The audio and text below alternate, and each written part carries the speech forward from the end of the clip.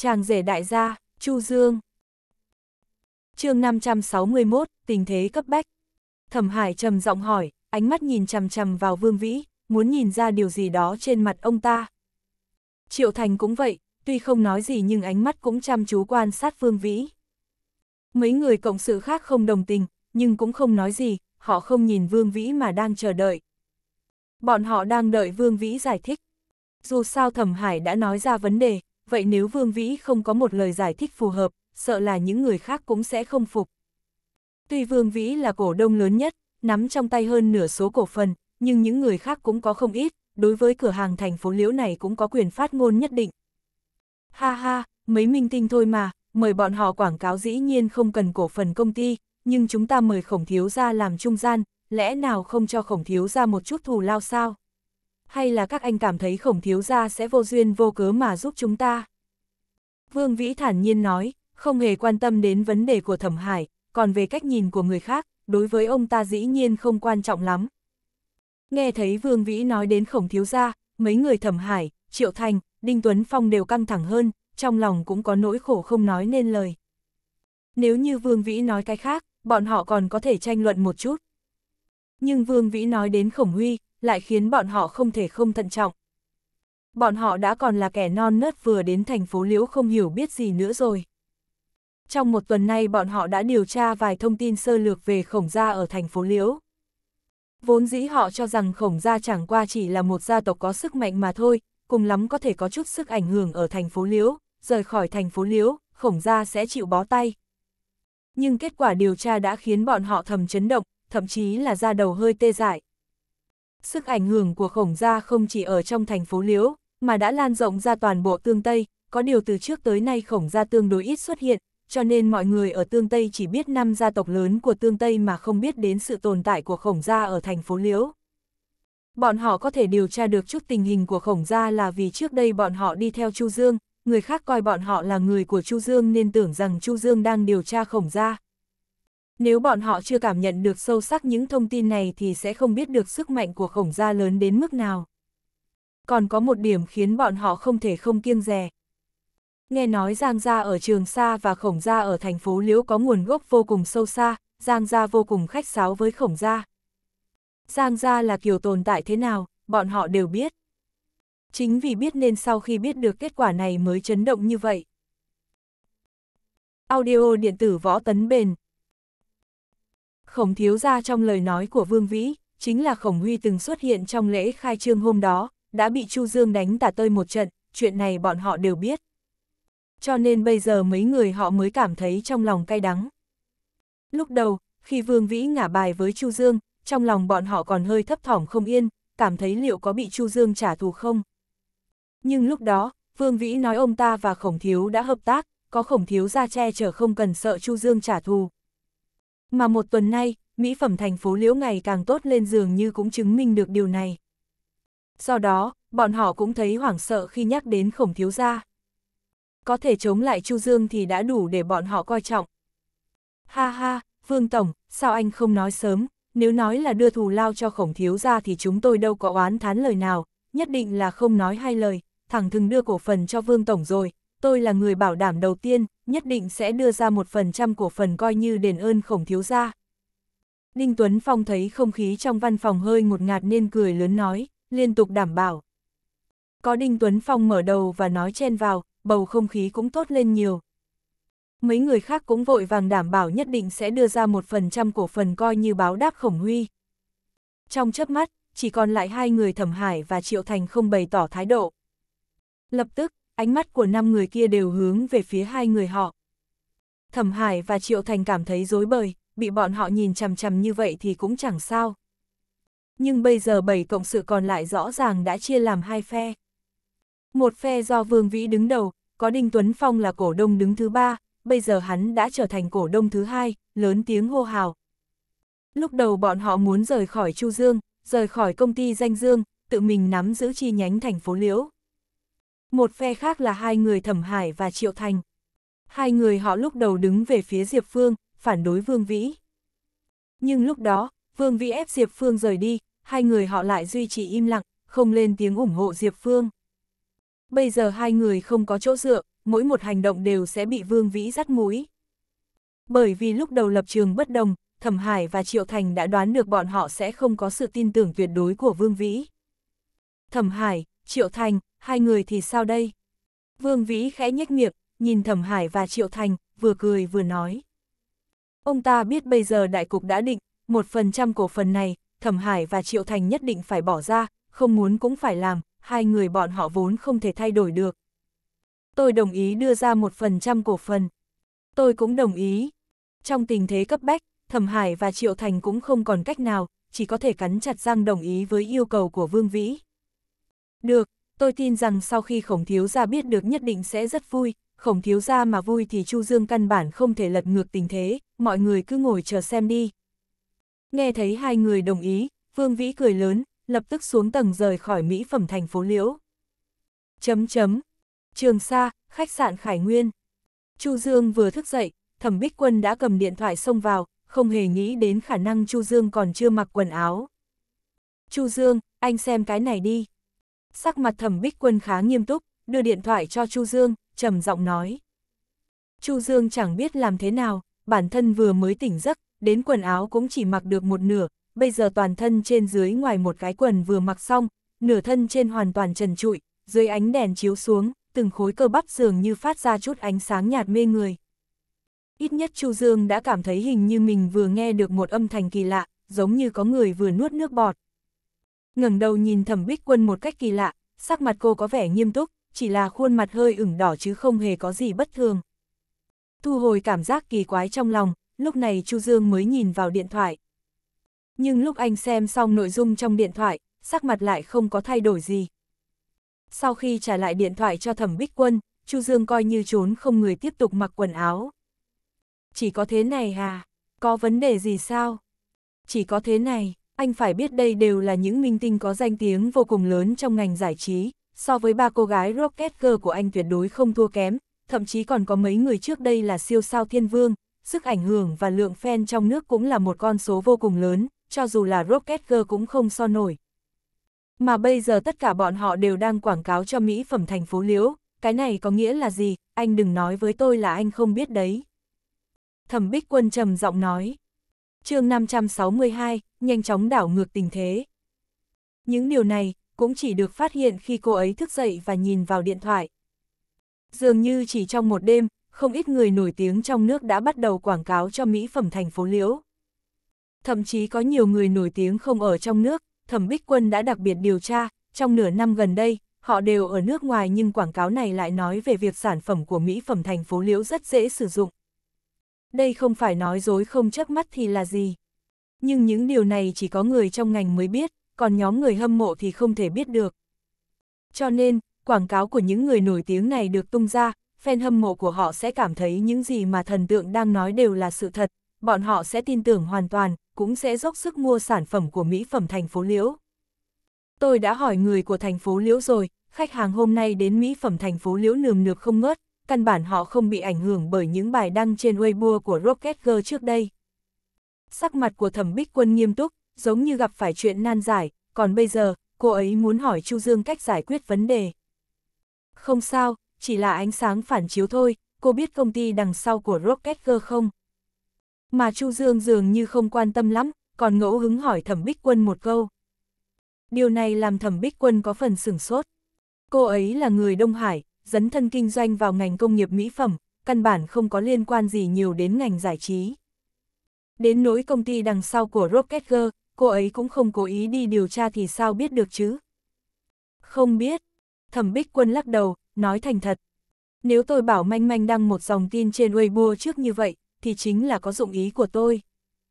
Bài đăng đầu tiên của nhóm manh manh là khẳng định muốn vạch rõ ranh giới với mỹ phẩm thành phố Liễu, còn dòng tin thứ hai trên Weibo là để chứng minh bất đồng giữa bọn họ và mỹ phẩm thành phố Liễu, thậm chí là mâu thuẫn. Dưới tình hình này, những người nổi tiếng khác vẫn quảng cáo cho mỹ phẩm thành phố Liễu, có nghĩa là họ đang tát vào mặt Rocket Girl, chính là muốn phá đám bọn họ, công ty đằng sau manh manh sẽ càng không đồng ý. Chu Dương nhẫn nại giải thích, có rất nhiều chuyện, anh đều biết, nhưng bây giờ không thể nói quá rõ ràng với thẩm bích quân. Không tin cô xem, chưa đầy một tiếng nữa, toàn bộ dòng tin trên Weibo của những người nổi tiếng này chắc chắn sẽ bị xóa hết, coi như chưa có chuyện gì xảy ra. Chu Dương nhún mày, nhẹ nhàng nói. Thật sao? Thẩm Bích Quân không tin lắm, lẽ nào công ty đằng sau nhóm Rocket Girl thật sự có năng lực lớn như vậy? Mở điện thoại lên, Thẩm Bích Quân tìm thấy tên công ty ký kết hợp đồng với Rocket Girl. Công ty giải trí truyền hình Chu Thị. Nhỏ giọng đọc tên công ty này ra, Thẩm Bích Quân vẫn còn đang mơ hồ. Mà Chu Dương nghe xong, khóe miệng khẽ co giật. Người khác có lẽ không biết, nhưng anh lại biết rằng, công ty giải trí truyền hình Chu Thị này, trên thực tế là một công ty của Chu gia trong ngành giải trí. Với sự hậu thuẫn của Chu gia, ngành giải trí căn bản không thể có người dám ra tay với công ty Chu Thị. Trước đây Trần Tổng chẳng phải từng nói, thủ đô có bốn gia tộc lớn, hiện giờ có phải cô nghĩ đến điều gì rồi không? Nhìn thẩm bích quân vẫn đang trầm tư suy nghĩ, Chu Dương bất lực nhắc nhở. Bốn gia tộc lớn, Chu Thị, tôi biết rồi, đây là một trong bốn gia tộc lớn, công ty của Chu gia. Chẳng trách anh sẽ nói như vậy, nếu là công ty của Chu gia, những người nổi tiếng đó đương nhiên không dám đắc tội, sợ bây giờ công ty Chu Thị đã bắt đầu ra tay rồi. Có sự nhắc nhở của Chu Dương, Thẩm Bích Quân bỗng nhiên tỉnh ngộ. Vào thời điểm này, tại cao ốc của công ty giải trí truyền hình Chu Thị ở thủ đô, trong phòng làm việc trên tầng cao. Một người đàn ông trung niên có sắc mặt nghiêm nghị đang nhìn một nam một nữ đứng trước mặt. Nếu như Chu Dương đang ở đây, chắc chắn sẽ nhận ra, người phụ nữ này, chính là chị Dương quản lý của Rocket Girl. Xem ra những người đó không nhẫn nhịn được nữa, muốn ra tay với chúng ta rồi. Khóe miệng của người đàn ông trung niên hơi nhếch lên, dường như đang cười chế giễu, ngữ khí rất bình thản. Chu Tổng, chúng ta có cần phản đòn lại không? Chị Dương hơi do dự, dù sao đây là ván cờ liên quan giữa công ty cấp cao, cô cũng chỉ là một người quản lý, cho dù là người quản lý kim bài của công ty, nhưng lúc này thực lực vẫn chưa đủ. Chu Tổng, tôi đã điều tra rõ ràng sự việc rồi, chuyện này chị Dương có lẽ cũng biết. Người đàn ông còn lại nhẹ nhàng nói, liếc nhìn chị Dương, rồi kể ra toàn bộ sự việc đã điều tra được. Trong số đó, còn có nguyên nhân hai dòng tin đăng trên Weibo của Rocket Girl, cùng chuyện bọn họ biểu diễn ở thành phố Liễu. Chu Dương, mỹ phẩm thành phố Liễu. Chu Tổng khẽ cau mày, trong miệng lẩm bẩm, dường như có vẻ nghi ngờ về cái tên Chu Dương và mỹ phẩm thành phố Liễu. Ừ, tôi biết rồi, nhưng Chu Dương và mỹ phẩm thành phố Liễu chẳng qua chỉ là một cái cớ của bọn họ thôi, mục tiêu của bọn họ cuối cùng vẫn là chúng ta, Tiểu Vương, cậu đi chuẩn bị, nếu bọn họ dám chống lại chúng ta, vậy thì, để bọn họ biết, hậu quả, không phải là điều bọn họ có thể gánh vác. Chu Tổng thả lòng, nói nhẹ nhàng với người đàn ông trẻ. Người đàn ông gật đầu, rời khỏi phòng làm việc của Tổng Giám Đốc. Còn chị Dương vẫn ở lại phòng làm việc.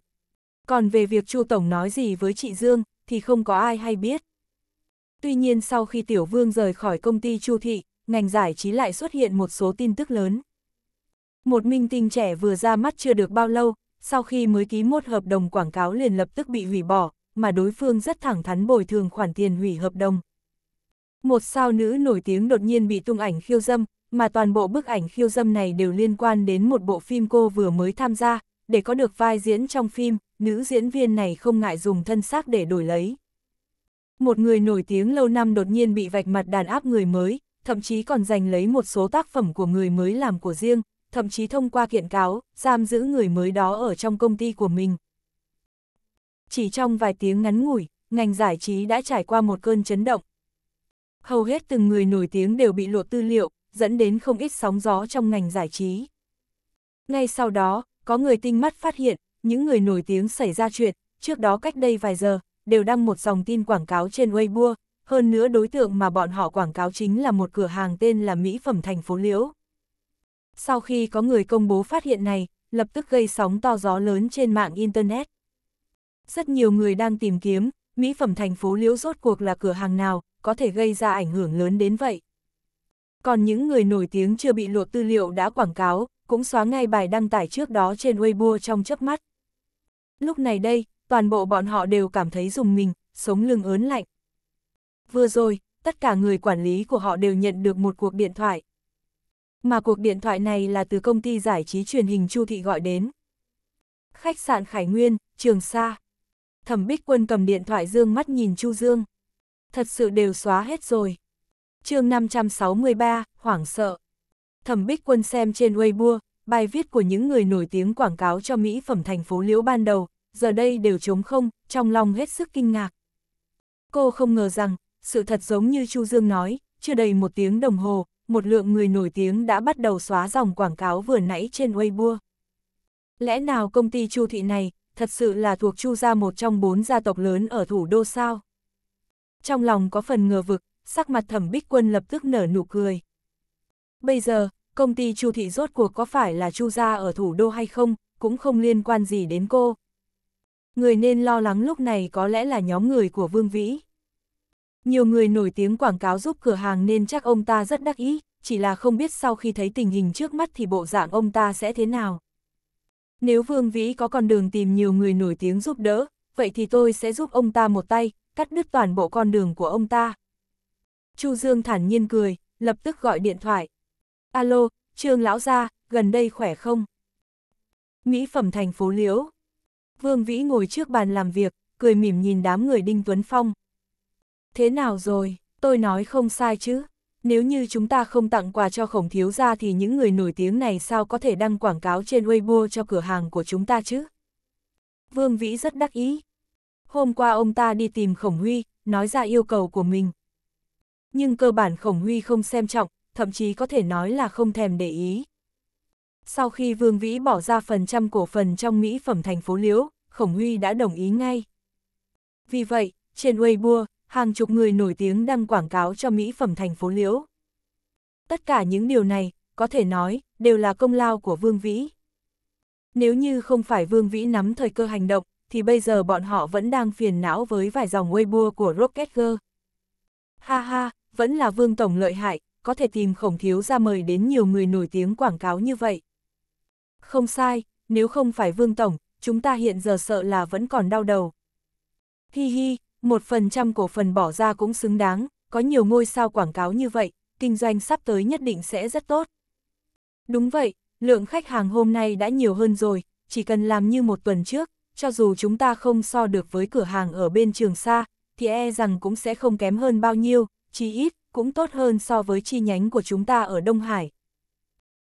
Mấy người cộng sự, bao gồm Thẩm Hải và Triệu Thành ban đầu có hơi miễn cưỡng, hiện giờ cũng mỉm cười, không ngừng khen ngợi Vương Vĩ. Quả thực điều ngạc nhiên này làm họ cảm thấy quá bất ngờ. Vừa ngủ dậy, trên mạng Internet, hàng chục người nổi tiếng, không chỉ có minh tinh mới ra mắt gần đây, nữ diễn viên nổi tiếng, thậm chí có siêu sao kỳ cựu, đều quảng cáo cho mỹ phẩm thành phố Liễu. Bọn họ tính toán bước đầu, nếu như bỏ tiền ra mời người khác quảng cáo, thì chỉ riêng tiền quảng cáo đã tốn gần 10 triệu. Còn đây chỉ là một dòng tin trên Weibo, tương đương với chi phí chuẩn bị thành lập hai chi nhánh mỹ phẩm thành phố Liễu. Trước đó, bọn họ còn muốn thông qua nhiều mối quan hệ khác nhau liên hệ với những người nổi tiếng này. Con số ngày càng tăng, không chỉ dừng lại ở con số 10 triệu. Mà bây giờ, bọn họ chỉ cần bỏ ra một phần trăm cổ phần, đã có thể mời được hầu như toàn bộ những ngôi sao trong ngành giải trí. Phải biết rằng, dựa vào định giá, một phần trăm cổ phần bọn họ bỏ ra chỉ mới có mấy trăm nghìn mà thôi, cho dù tương lai có thể rất đáng giá, đó cũng là chuyện của sau này. Mấy người họ mỉm cười, trong lòng cũng rất phấn khởi. Dù sao, bất kỳ ai bỏ ra giá trị nhỏ mà thu được lợi nhuận lớn cũng sẽ hưng phấn kích động. cuống hồ, có quảng cáo tuyên truyền của những người nổi tiếng này, mỹ phẩm thành phố liễu của bọn họ nhất định sẽ có tiếng tăm lớn. Đến lúc đó, sự phát triển của mỹ phẩm thành phố liễu càng ngày càng tốt, mà cổ phần trong tay bọn họ, đương nhiên cũng sẽ càng có giá trị hơn. Đây là một cuộc giao dịch có lãi chứ không hề lỗ vốn. Ha ha, đó là đương nhiên, tôi với vai trò cổ đông lớn thứ nhất, đương nhiên là nghĩ cho mỹ phẩm thành phố liễu rồi, Chu Dương muốn dùng Rocket Girl để bôi nhỏ chúng ta, vậy chúng ta sẽ dùng những người nổi tiếng này để quảng bá rộng rãi, tôi không tin, tay của Chu Dương có thể vươn xa, quản được những minh tinh này. Được mọi người tán dương, Vương Vĩ cũng rất thoải mái, cảm thấy lỗ chân lông toàn thân mở ra, từ trong ra ngoài, cả người đều thông suốt và dễ chịu. Vương Tổng, đây là... Chỉ là, ngay khi Vương Vĩ vừa hạ giọng, Đinh Tuấn Phong mở to mắt, nhìn vào màn hình máy tính, miệng há hốc, vẻ mặt đờ đẫn. Khi những người khác nhìn thấy bộ dạng của Đinh Tuấn Phong, cũng rất tò mò, không biết hắn nhìn thấy gì mà lại biến thành bộ dạng như vậy. Sao thế, anh Đinh, anh nhìn thấy gì vậy? Đúng vậy, bây giờ chúng ta đang phản đòn với Chu Dương, sao anh lại biểu cảm như vậy? Anh Đinh, anh quá đáng rồi đấy. Bọn họ nhìn thấy biểu cảm của Đinh Tuấn Phong như vậy, đột nhiên tâm trạng cũng không thoải mái. Mọi người đều đang vui mừng, chỉ một mình Đinh Tuấn Phong giống như đang gặp ma, tỏ vẻ hoảng hốt như vậy, đổi lại ai đều cũng sẽ không vui. Nếu không phải chú ý đến Đinh Tuấn Phong hiện giờ là cổ đông lớn thứ hai của Mỹ phẩm thành phố Liễu thì bọn họ sớm đã sớm chút giận rồi. Vương Tổng, mau mau xem đi, bài đăng trên Weibo của những người nổi tiếng này, đều không thấy nữa. Đinh Tuấn Phong dừng lại, sau đó cực kỳ hoảng sợ, hai tay không ngừng gõ vào bàn phím máy tính, dường như đang tìm kiếm cái gì đó. Vào lúc này, Vương Vĩ và một số người khác cũng kinh hoàng. Toàn bộ Weibo không thấy nữa. Sao có thể như vậy? Đây đều là mối quan hệ mà khổng thiếu ra tìm được, sao có thể biến mất vô duyên vô cớ vậy? Đừng nói Vương Vĩ không tin, mà những người đối tác khác căn bản cũng không tin.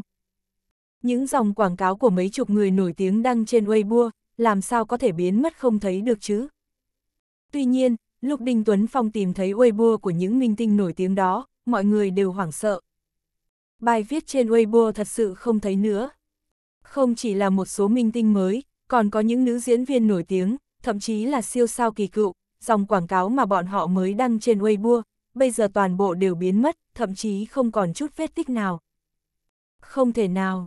Vương Vĩ cực kỳ hoảng hốt, đột nhiên hét lên, giật lấy bàn phím từ trong tay của Đinh Tuấn Phong, lại tiếp tục tìm Weibo của những minh tinh đó. Nhưng kết quả cũng không thay đổi. Toàn bộ bài đăng đó đều đã biến mất, giống như chúng căn bản không tồn tại và chưa từng xuất hiện trên Weibo. Chuyện gì thế này, vừa nãy chẳng phải vẫn còn ư, tại sao một lúc sau, tất cả đều biến mất rồi. Đúng vậy, Vương Tổng, bọn họ đã cầm tiền rồi, nếu như xóa Weibo thì sẽ tính sao? Không được, chuyện này nhất định phải làm rõ. Mọi người hết sức phẫn nộ, vội vàng nói. Dù sao, bọn họ là người đã lấy ra một phần trăm cổ phần, để cho những người nổi tiếng này quảng cáo một lần trên Weibo. Nhưng hiện giờ, bài viết trên Weibo đăng lên chỉ vỏn vẹ có một tiếng, toàn bộ đã không thấy tăm hơi, đây căn bản là không đạt tiêu chuẩn. Nếu như những người nổi tiếng này cảm thấy một phần trăm cổ phần bọn họ bỏ ra chỉ có thể khiến bài viết họ đăng tải trên Weibo tồn tại trong vòng một giờ, vậy thì giá chào bán của bọn họ quá cao rồi đấy. chương 564, trương gia ra tay. Chết tiệt, toàn bộ đều không thấy nữa. Vương Vĩ vẫn không hết hy vọng, ông ta lại tìm Weibo của vài nghệ sĩ nữa nhưng kết quả vẫn như cũ. Sao có thể như thế chứ, khổng thiếu gia sẽ không lừa tôi đâu. Vương Vĩ chán nản, ông ta không biết đã xảy ra chuyện gì nhưng ông không nghĩ khổng thiếu gia sẽ gạt mình. Dù sao thì đối với khổng huy, để những nghệ sĩ nổi tiếng này tuyên truyền trên Weibo cũng chỉ là một lời nói, cùng lắm thì tiêu một chút tiền. Vì số tiền này mà Vương Vĩ đã bỏ ra không ít cổ phần, cộng vào cũng gần một triệu tệ, số tiền này cũng không phải là nhỏ. Nếu không phải là khổng huy nhúng tay vào, vậy mấy minh tinh nổi tiếng này không thể xóa sạch sẽ các bài đăng quảng cáo trên Weibo trong thời gian ngắn như vậy được. Vương Tổng, mọi chuyện có vẻ không ổn lắm. Thẩm Hải trầm giọng nói, vừa rồi hắn cũng lấy điện thoại kiểm tra một chút. Vừa tìm kiếm thì suýt chút nữa đã khiến hắn kinh ngạc thốt lên. Cũng may hắn rất biết kiềm chế cảm xúc nên vẫn nhẫn nhịn, nhưng sắc mặt lại vô cùng khó coi. Xảy ra chuyện gì? Các người tự xem đi. Thẩm Hải đưa điện thoại cho Vương Vĩ. Sau khi Vương Vĩ đọc nội dung trên điện thoại, sắc mặt cũng thay đổi. Trong mấy nghệ sĩ đang Weibo thì có mười mấy người gặp chuyện. Không phải bị hủy bỏ chương trình thì các hợp đồng thì quảng cáo đại diện cũng bị thay người. Thậm chí xì căng đan cũ của mấy nghệ sĩ kỳ cựu từng gây náo động giới giải trí một thời cũng bị lôi ra. Còn những nghệ sĩ khác nhìn thấy cái này cũng hoảng sợ, lần lượt xóa bài đăng trên Weibo. Hừ, rốt cuộc tên nào đang nhắm vào họ vậy? Lẽ nào là Chu Dương? Không thể nào, Chu Dương không có năng lực này. Trong số những nghệ sĩ này thì đã có mấy người có lai lịch không đơn giản, thực lực công ty đứng sau họ cũng không yếu. Đừng quên ở đây còn có nghệ sĩ nổi tiếng cũng gặp chuyện, Chu Dương có năng lực này sao? Vương Tổng, không thì anh gọi cho khổng thiếu ra hỏi xem đi. Tất cả mọi người đều ngạc nhiên không thôi, thậm chí còn nghi ngờ Chu Dương làm chuyện này. Nhưng trong tình huống này, rất nhiều minh tinh nổi tiếng xảy ra chuyện cùng lúc, cùng xóa Weibo, trong mắt bọn họ, Chu Dương hoàn toàn không có khả năng làm được chuyện như vậy. Được, tôi đi hỏi khổng thiếu gia. Vương Vĩ bừng bừng lửa giận, cơn thịnh nộ đã đạt đến cực điểm. Cục diện bây giờ khiến ông ta vô cùng bị động, nghệ sĩ ra mắt nhiều năm xảy ra chuyện cùng lúc, cùng nhau xóa Weibo tuyên truyền cho Mỹ phẩm thành phố Liễu, chắc chắn chuyện này sẽ gây ra rất nhiều chấn động trên mạng thậm chí trong giới giải trí. Mà trên thực tế, giới giải trí là một vòng tròn khép kín. Một khi có người trong giới giải trí phát hiện ra chuyện này có liên quan đến mỹ phẩm thành phố Liễu thì sau này sẽ không có bất kỳ ai ra mặt quảng cáo cho mỹ phẩm thành phố Liễu. Dù Vương Vĩ đưa ra giá cao ngất cho người đại diện và quảng cáo thì cũng sẽ không có ai đồng ý. So với khoản tiền này, mấy nghệ sĩ kia càng để tâm đến sự nghiệp và sức ảnh hưởng của mình trong giới giải trí hơn. Không có ai đại diện quảng cáo cho mỹ phẩm thành phố Liễu, hiển nhiên đó là một tổn thất rất lớn với mỹ phẩm thành phố Liễu. Huống Hồ Chu Dương đã bảo Rocket Girl đang Weibo vạch rõ giới hạn với mỹ phẩm thành phố Liễu, chắc chắn mỹ phẩm thành phố Liễu sẽ càng bị nhiều tai tiếng hơn. Đây là điều mà Vương Vĩ không cho phép xảy ra. Ngay lập tức, Vương Vĩ gọi điện thoại cho Khổng Huy, sau khi nói chuyện này với hắn, ông ta trầm mặc đợi Khổng Huy trả lời. Hiện giờ ông ta không ở trước mặt Khổng Huy nên không cần phải khiêm tốn như trước, cũng không cần giả vờ cười liên tục nói những lời hay ý đẹp để lấy lòng Khổng Huy. Có thể giải quyết được chuyện này mới là mối bận tâm lúc này của Vương Vĩ. Khi Vương Vĩ gọi điện thoại cho Khổng Huy để hỏi về sự thật của vụ việc thì cùng lúc này Trương gia ở tương Tây xa xôi cũng cực kỳ căng thẳng. Trương Anh, cuộc đàm phán với Tôn Tiên Sinh đã kết thúc chưa?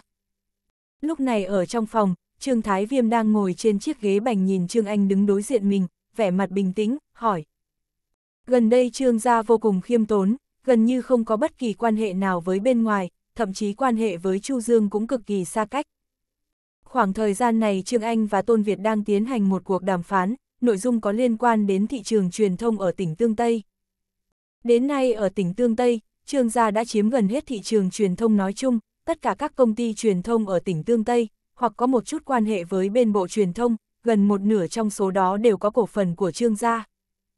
Vậy nên có thể nói Trương gia nắm chắc một nửa số kênh quảng bá truyền thông ở tỉnh Tương Tây. Người tỉnh Tương Tây đều biết chuyện này.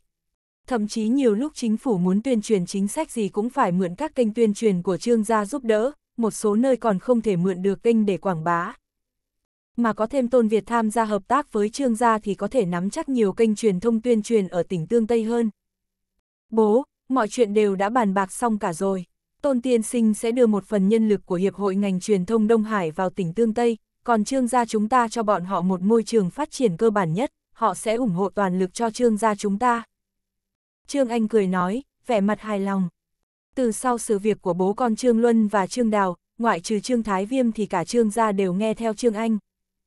Mấy lần Trương Thái Viêm còn giao hết những việc quan trọng cho Trương Anh xử lý.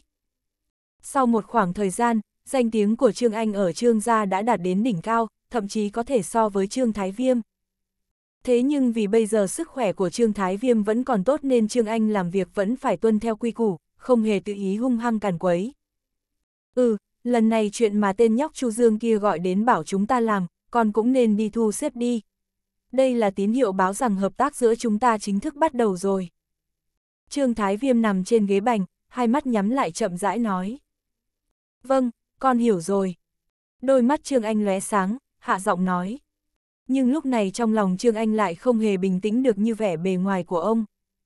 Hợp tác với Tôn Việt thay vì nói đó là vụ hợp tác với cá nhân Tôn Việt hay Chu Dương, chỉ bằng nói Trương ra hợp tác với ngành truyền thông của cả Đông Hải. Ngành truyền thông Đông Hải là sự tồn tại quan trọng của toàn bộ ngành truyền thông tỉnh Tương Tây.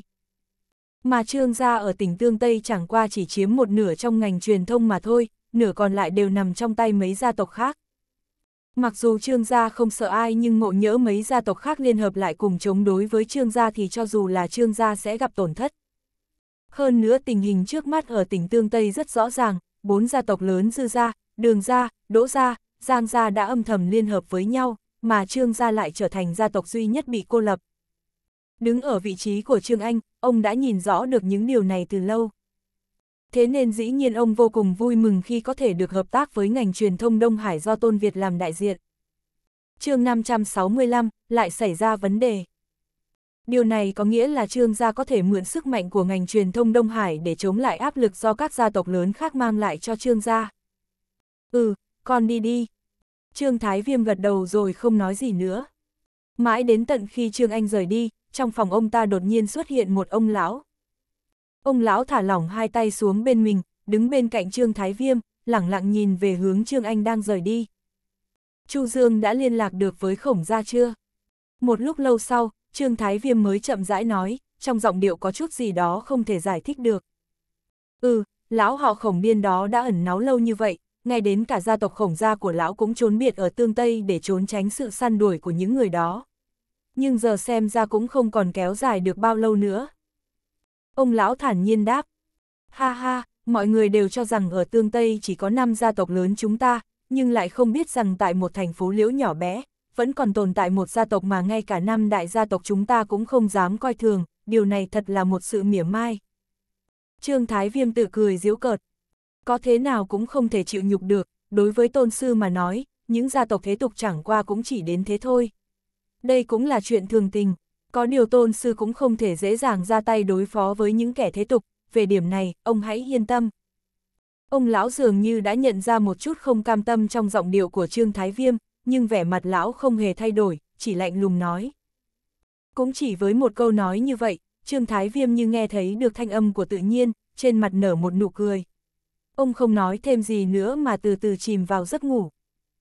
Sau khi Trương Anh rời khỏi phòng, ông lập tức liên hệ với tất cả các kênh tuyên truyền của Trương gia ở Tương Tây và truyền đạt mệnh lệnh. Tất cả các kênh tuyên truyền của Trương gia đều phải đồng loạt cấm tuyên truyền mỹ phẩm thành phố Liễu.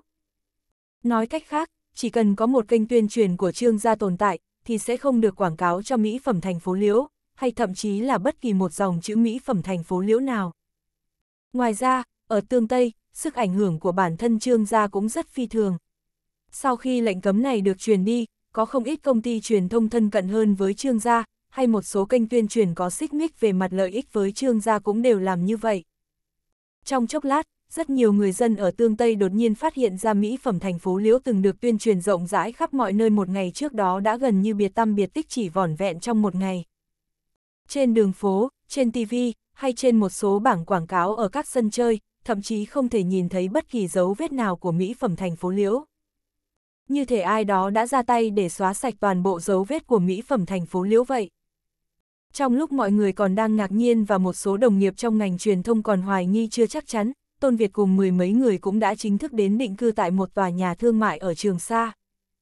Một công ty mang tên truyền thông Đông Hải đã lặng lẽ được thành lập. Mỹ phẩm thành phố Liễu Lúc này, không khí trong cửa hàng vô cùng nặng nề. Từ hôm qua đến giờ, chốc chốc lại truyền đến một trận chửi mắng giận dữ từ văn phòng ở tầng 2. Các trợ lý ở cửa hàng ai nấy đều lo lắng sợ hãi, vừa đề phòng xảy ra sự cố ngoài ý muốn nào đó, vừa trấn an các nhân viên ở cửa hàng. May thay những ngày này rất ít khách mua sắm tại cửa hàng, nhân viên có thể xử lý được. Nếu không, ngay cả khi số lượng nhân viên tăng gấp đôi, e rằng họ cũng không thể đảm đương được. Văn phòng trên tầng 2. Lúc này, tất cả 7 cộng sự, bao gồm cả Vương Vĩ, đều có mặt ở đó. Vương Vĩ ngồi vào ghế của mình, vẻ mặt ông ta vô cùng giàu dĩ. Vương Tổng, lẽ nào khổng thiếu ra cũng không có cách nào sao? Ninh Tuấn Phong có chút không cam tâm, hắn lên tiếng hỏi lại. Đúng vậy, Vương Tổng à, giờ ngoài khổng thiếu ra ra, chúng tôi không thể làm được gì nữa. Chưa nói đến những minh tinh kia, giờ ngay cả một người nổi tiếng trên mạng cũng từ chối thẳng thừng khi chúng tôi bàn về chuyện hợp tác và quảng cáo. Điều đáng ghét hơn nữa là sau khi những người nổi tiếng trên mạng nghe tin chúng ta là mỹ phẩm thành phố Liễu, ai nấy đều tỏ ra chán ghét và khinh thường. Như thế này rõ ràng không coi chúng ta ra gì, từ khi nào mà đến lượt chúng ta bị mấy kẻ nổi tiếng trên mạng chê bai khinh bỉ vậy chứ? Một số người khác cũng giận sôi máu. Hôm qua, Vương Vĩ đã gọi điện cho khổng thiếu ra trước mặt họ và hỏi về chuyện những người nổi tiếng kia đột nhiên xóa Weibo đi. Vốn dĩ tưởng rằng khi Vương Vĩ gọi điện thoại đến, Khổng Huy sẽ có một lời giải thích hợp lý, hay ít nhất cũng phải trấn an một chút, sau đó hắn sẽ nghĩ cách. Thế nhưng, kết quả ngoài mong đợi của mọi người. Lúc này, sáu người đều nhìn Vương Vĩ với vẻ mặt kỳ quặc. Vừa nghĩ đến tình cảnh ngày hôm qua, trong mắt bọn họ chợt lóe lên một chút kỳ quái. Sau khi Vương Vĩ gọi điện cho Khổng Huy và nói về sự việc, mọi người đều tưởng tượng rằng không những Khổng Huy không an ủi mà thay vào đó còn phải chịu một trận mắng mỏ khủng khiếp của hắn. Vương Vĩ, tôi nể tình anh là người quen với tôi nên mới nghĩ cách giúp anh. Anh lại thực sự cho rằng mình là bố thiên hạ sao? Chuyện gì cũng kêu tôi đi giải quyết giúp anh, vậy tôi cần anh có tác dụng gì? Bốp! Sau khi những lời này của Khổng Huy gần như là sự mắng chửi, mọi người như nghe thấy một tiếng tát lớn vang lên, tát thẳng vào mặt Vương Vĩ, tiếng tát bốp bốp bốp. Hừ, ngay cả khi không có những người nổi tiếng đó làm quảng bá, chúng ta vẫn có thể quảng bá ở tương Tây. Dù sao, của cửa hàng chúng ta bây giờ chủ yếu là phải thu hút được khách hàng từ thành phố Liễu và tương Tây. Vương Vĩ nhìn thấy vẻ mặt của mọi người, ông ta muốn nổi giận, nhưng nghĩ đến chuyện ngày hôm qua, tự mình cũng cảm thấy mất mặt, chỉ đành hừ lạnh lùng một tiếng. Tinh tang tang. Đột nhiên, điện thoại di động của Đinh Tuấn Phong vang lên. Sau khi bắt điện thoại, ban đầu Đinh Tuấn Phong còn cười vui vẻ, nhưng chỉ sau vỏn vẹn 5 giây, khuôn mặt hắn liền trở nên hơi khó coi. Điều này khiến tâm trạng mọi người đều trùng xuống. Trong số họ, Vương Vĩ là người điều hành chính, có thể được coi là một tổng giám đốc. Còn Đinh Tuấn Phong với tư cách là cổ đông lớn thứ hai, chịu trách nhiệm phụ trách công việc tuyên truyền của Mỹ phẩm thành phố Liễu ở bên ngoài. Điều có thể khiến vẻ mặt của Đinh Tuấn Phong trở nên khó coi như vậy, sẽ không có gì khác ngoại trừ việc đã xảy ra một số trục trặc trong công tác tuyên truyền. Vừa nghĩ đến việc họ vừa thua một trận trong sự hợp tác với các ngôi sao, hoặc thậm chí bị hất ra khỏi cuộc, bây giờ công việc tuyên truyền mà Đinh Tuấn Phong đang chịu trách nhiệm gặp trục trặc, nên mọi người đột nhiên trở nên nghiêm túc. Được rồi, tôi hiểu rồi, không sao, sau này chúng ta vẫn có cơ hội hợp tác mà. Đinh Tuấn Phong cười rồi cúp điện thoại, nhìn thấy sắc mặt của mọi người, đang định giải thích thì điện thoại lại vang lên. Chỉ trong 5 phút, Đinh Tuấn Phong đã nhận 10 cuộc gọi, trung bình một cuộc gọi chỉ mất nửa phút. Cứ mỗi một cuộc gọi vang lên và cúp máy, khuôn mặt của Đinh Tuấn Phong lại càng trở nên u ám hơn. Đến tận khi cúp cuộc gọi thứ 10 thì vẻ mặt của Đinh Tuấn Phong đã dầu dĩ đến cực độ, so với Vương Vĩ cũng chẳng dễ coi hơn là bao. Đã xảy ra chuyện gì? Vương Vĩ trầm giọng nói, tất cả ánh mắt của những người khác cũng đều tập trung vào Đinh Tuấn Phong. chương 566, lựa chọn. Chết tiệt, những công ty truyền thông trước đây từng hợp tác với chúng ta, vừa mới gọi điện tới, nói muốn hủy hợp tác với chúng ta. Sắc mặt Đinh Tuấn Phong tái xanh.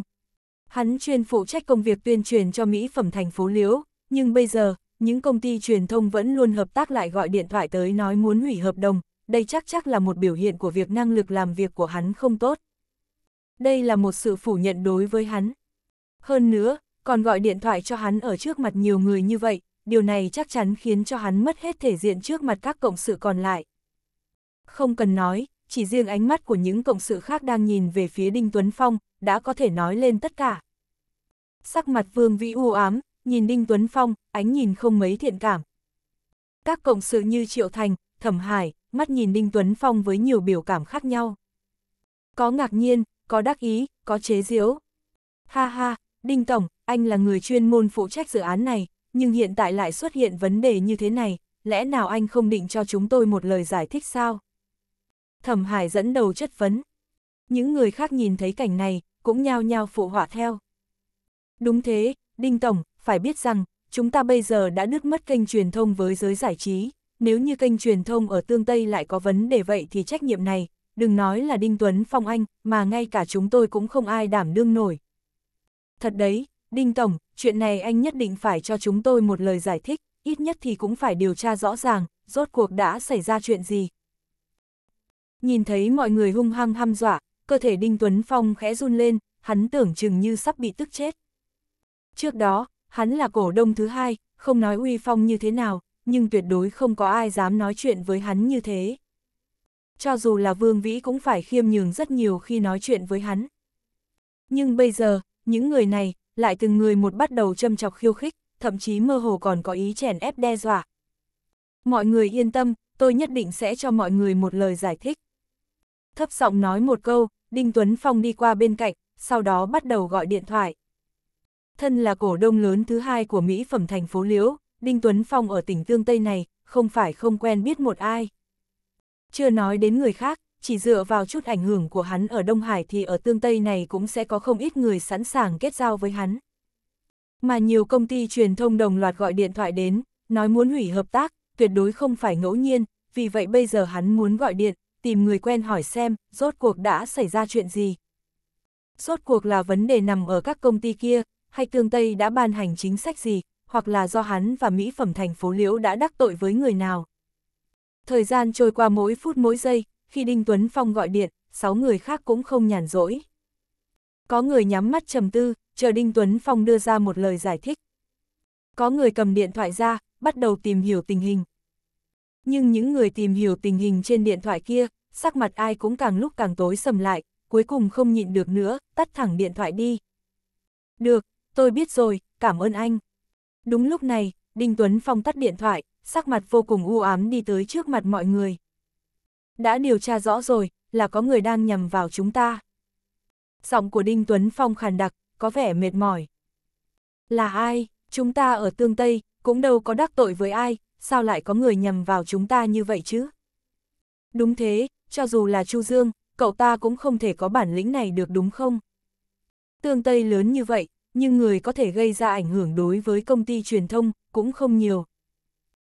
Mọi người đột nhiên hết sức phẫn nộ, trong đó có hai người sắc mặt vô cùng u ám. Là Trương gia.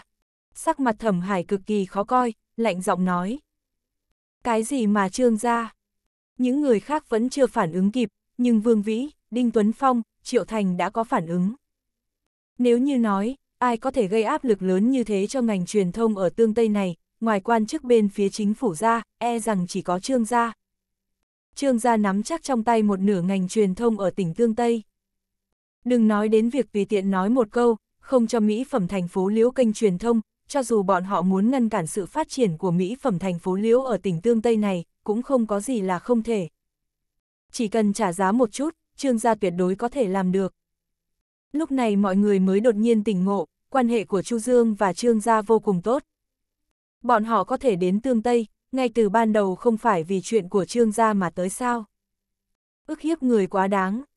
Vương Vĩ đột nhiên đập tay xuống bàn, ánh mắt nhìn mọi người một lượt.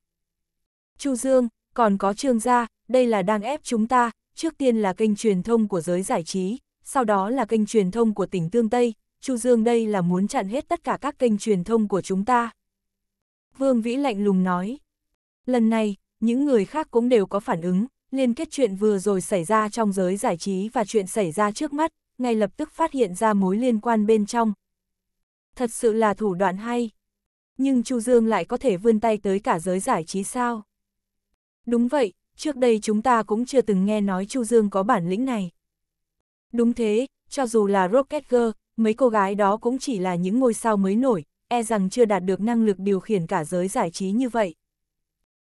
Ngoài cậu ta ra, căn bản không thể có người khác. Vương Vĩ một lời đã định, đổ hết trách nhiệm tất cả những chuyện này lên người Chu Dương. Dù sao theo ý kiến của ông ta, cho dù không phải Chu Dương làm thì anh cũng không tránh được có liên quan. Hơn nữa, mọi người bây giờ cần một đối tượng để cùng chung mối thù, mà Chu Dương chính là lựa chọn tốt nhất. Không được, chúng ta nhất định phải phản đòn, không thể tùy ý cho bọn họ cấu xé. Ninh Tuấn Phong lạnh lùng nói, sau đó nhìn Vương Vĩ. Vài người khác cũng dối giết nhìn về phía Vương Vĩ. Nếu như nói, ai có đủ năng lực để đột phá vòng vây, vậy thì chỉ có Vương Vĩ. Bởi vì Vương Vĩ quen biết với khổng huy của khổng gia ở thành phố Liễu. Mặc dù trước kia Vương Vĩ gọi điện thoại bị khổng huy hung hăng dạy dỗ một trận, nhưng mối quan hệ này cũng không phải vì vậy mà tiêu tan. Vương Tổng, trước mắt chỉ có thể dựa vào anh, liên hệ với khổng thiếu gia, nhờ anh ta giúp đỡ chúng ta, cho dù phải trả giá gì, chúng tôi đều sẵn lòng, tôi không tin, một mình Chu Dương, ở tương Tây có thể một tay che trời. Đinh Tuấn Phong thực sự đã giận sôi máu. Vốn dĩ chuyện Mỹ phẩm thành phố Liễu, không liên quan nhiều đến hắn. Ban đầu là Vương Vĩ lên kế hoạch tỉ mỉ, còn hắn chỉ thuận thế mà làm theo, lựa chọn đứng về phía Vương Vĩ. Nhưng Chu Dương đã ra tay phản đòn, khiến bọn họ giữ không được mỹ phẩm thành phố Liễu. Nếu như Chu Dương chỉ nhằm vào Vương Vĩ, vậy thì mấy người bọn họ vẫn có thể lựa chọn khoanh tay đứng nhìn. Dù sao, mâu thuẫn sâu sắc nhất vẫn là Chu Dương và Vương Vĩ, còn về mấy người bọn họ, chỉ là vai diễn phụ. Cùng lắm, sau khi Vương Vĩ thất bại, bọn họ sẽ rút khỏi Mỹ phẩm thành phố Liễu, rời khỏi Tương Tây, quay về Đông Hải. chương 567, rút lui. Nhưng bây giờ, Chu Dương vung tay càng ngày càng xa, thậm chí không thèm quan tâm tới sắc mặt của Đinh Tuấn Phong, khiến hắn xấu hổ trước mặt mọi người. Đây chính là đang khiêu chiến giới hạn của Đinh Tuấn Phong. Ngay cả tượng đất cũng biết tức giận, huống hồ là Đinh Tuấn Phong. Lúc này, Đinh Tuấn Phong đã quyết định, bất luận ra sao, hắn cũng nhất định phải đối đầu đến cùng với Chu Dương. Mà trước mắt, hắn chỉ có lựa chọn kiên trì đứng bên cạnh Vương Vĩ, cho dù khiến hắn buông bỏ toàn bộ quyền lực của Mỹ phẩm thành phố Liễu thì hắn cũng không quan tâm. Đúng vậy, Vương Tổng, hiện giờ chỉ có thể dựa vào khổng thiếu gia. Vương Tổng, anh đưa ra ý kiến, chúng tôi đều nghe theo. Mấy người cộng sự khác nhìn Đinh Tuấn Phong tỏ thái độ như vậy, lập tức cũng thể hiện thái độ của mình. Trong nháy mắt, trong phòng làm việc chỉ còn lại hai người Thẩm Hải và Triệu Thành vẫn chưa bày tỏ ý kiến. Thẩm Tổng, Triệu Tổng, hai người dự tính thế nào? Ánh mắt Đinh Tuấn Phong nhìn chằm chằm vào hai người Thẩm Hải và Triệu Thành, gương mặt hung ác rất dữ tợn. Tôi rút lui, Vương Tổng, tôi có thể bán hết tất cả cổ phần trong tay, chống lại Chu Dương, tôi luôn nghĩ rằng đây không phải nước đi sáng suốt, tôi còn phải về Đông Hải, tự kinh doanh trên mảnh đất ba mẫu của mình. Triệu Thành đột nhiên nói, sắc mặt tối sầm lại. Cái gì, Triệu Thành anh? Thẩm Hải nghe xong, sắc mặt thay đổi rõ rệt, không thể tưởng tượng được nhìn Triệu Thành. Hắn không ngờ rằng, lúc này, Triệu Thành lại lựa chọn làm như vậy. Được, cổ phần của anh, tôi sẽ mua lại. Khóe miệng Vương Vĩ khẽ nhếch lên, lãnh đạm nói, sau đó ánh mắt rơi trên người còn lại Thẩm Hải. Trong phút chốc, Thẩm Hải cảm thấy có năm ánh nhìn đang đổ vào người mình. Khóe miệng khẽ co giật, Thẩm Hải rất muốn lựa chọn rút lui như Triệu Thành. Nhưng hắn không đành lòng. Chưa kể mấy trăm nghìn đầu tư giai đoạn đầu, một khi rút lui, coi như toàn bộ mất sạch, cho dù Vương Vĩ Thu mua lại số cổ phần, thì cũng còn lại được bao nhiêu tiền chứ. Cuống hồ, mấy tháng nay, hắn luôn bận rộn ở tỉnh Tương Tây, không chỉ theo Chu Dương bận trước bận sau, mà khi dự án phát triển chi nhánh bắt đầu triển khai, hắn còn theo đám người Vương Vĩ bận rộn không ngừng nghỉ. Mà bây giờ, chỉ cần vượt qua cửa ải khó khăn này, thì thành quả thắng lợi trước mắt, đã nằm trong tầm tay. Cho nên, Thẩm Hải nghiến răng, trong lòng kiên định, quyết chiến một lần nữa. Biết đâu khổng thiếu ra có cách thì sao? Tôi cũng ủng hộ kế hoạch của Vương Tổng, vẫn để khổng thiếu ra giúp đỡ, về giá cả, tôi cũng sẽ không quan tâm. Thẩm Hải cuối cùng cũng nói ra quyết định, đột nhiên, hắn cảm thấy sống lưng mình ướt đẫm mồ hôi hột. Mà sau khi hắn nói ra lời như vậy, mấy người khác cũng gật đầu mãn nguyện. Lúc này, Triệu Thành rút lui, sáu cổ đông khác, toàn bộ đều đặt hy vọng trên người khổng thiếu gia, vì lý do này, họ có thể vứt bỏ tất cả lợi nhuận của mỹ phẩm thành phố Liễu. 2. Các anh nghĩ Chu Dương sẽ dễ dàng đối phó như vậy sao? Ở Đông Hải không có ai có thể chống lại anh ta, ở tỉnh Tương Tây lâu như vậy, các anh có từng thấy Chu Dương bị tổn thất chưa? Triệu Thành tỏ vẻ bất lực, chỉ có thể thở dài, nhìn chăm chăm vào thẩm hải, không nói gì nữa, liền quay người rời khỏi Mỹ phẩm thành phố Liễu. Hắn phải quay về thu dọn tài liệu chuyển nhượng cổ phần, chuẩn bị buổi chiều quay về Đông Hải, cũng không muốn can thiệp vào chuyện của đám người vương vĩ nữa. Ha ha, các anh yên tâm, có khổng thiếu gia ở đây, đừng nói chỉ một chu dương nhỏ nhoi, cho dù là trương gia, cơ bản cũng không thành vấn đề. Vương Vĩ cười ha ha nói, rồi chăm chú quan sát nét mặt tràn đầy hy vọng của những người còn lại. Bây giờ ông ta quyết định đi gặp Khổng Huy trước, nói về chuyện Mỹ phẩm thành phố Liễu. Nếu không giải quyết chuyện trong ngành giải trí và ngành truyền thông ở tỉnh Tương Tây, thì Mỹ phẩm thành phố Liễu của bọn họ chỉ có thể chờ chết, hoặc cũng chỉ có thể rụt đầu ở đất thành phố Liễu này, chứ đừng nói đến việc phát triển ra bên ngoài. Lúc này, những chỉ thị mà Trương gia đưa ra trong ngành truyền thông cũng đã thu hút sự chú ý của nhiều người. Biến động nhỏ của ngành truyền thông rất dễ để lại vết tích.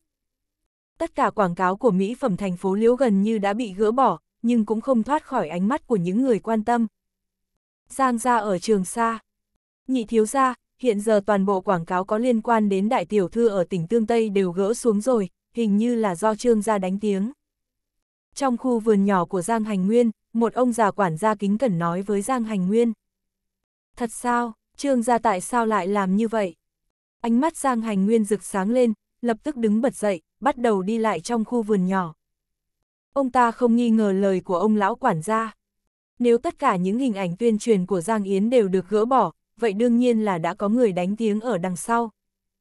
Mà Giang Hành Nguyên biết, vị trí hiện giờ chỉ có mỗi trương gia có năng lực này. Tuy nhiên, quan hệ của Chu Dương và trương gia thân thiết gắn kết như vậy, tại sao trương gia lại làm thế vào lúc này chứ? Ông đi điều tra xem thử có phải xảy ra chuyện gì đó mà tôi vẫn chưa biết không? Suy nghĩ một hồi lâu, Giang Hành Nguyên vẫn chưa nghĩ ra nguyên nhân là gì, nhưng ông ta không muốn nghĩ nhiều, nếu trương gia đã làm như vậy, bất luận là vì lý do gì, thì ít nhất Giang Hành Nguyên cũng nhận tấm chân tình này.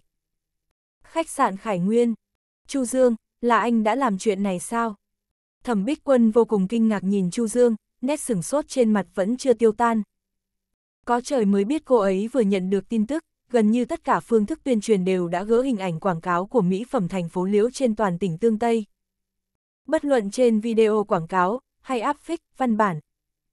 Tất cả đều biến mất, không còn dấu vết. Phải biết rằng, nếu không có năng lực cực lớn thì không thể làm được những điều này. Kết hợp với những lời Chu Dương nói trước đây, chuyện của ngành giải trí cũng chỉ là một khởi đầu. Thẩm Bích Quân rất dễ dàng đoán ra đây là thủ đoạn của Chu Dương.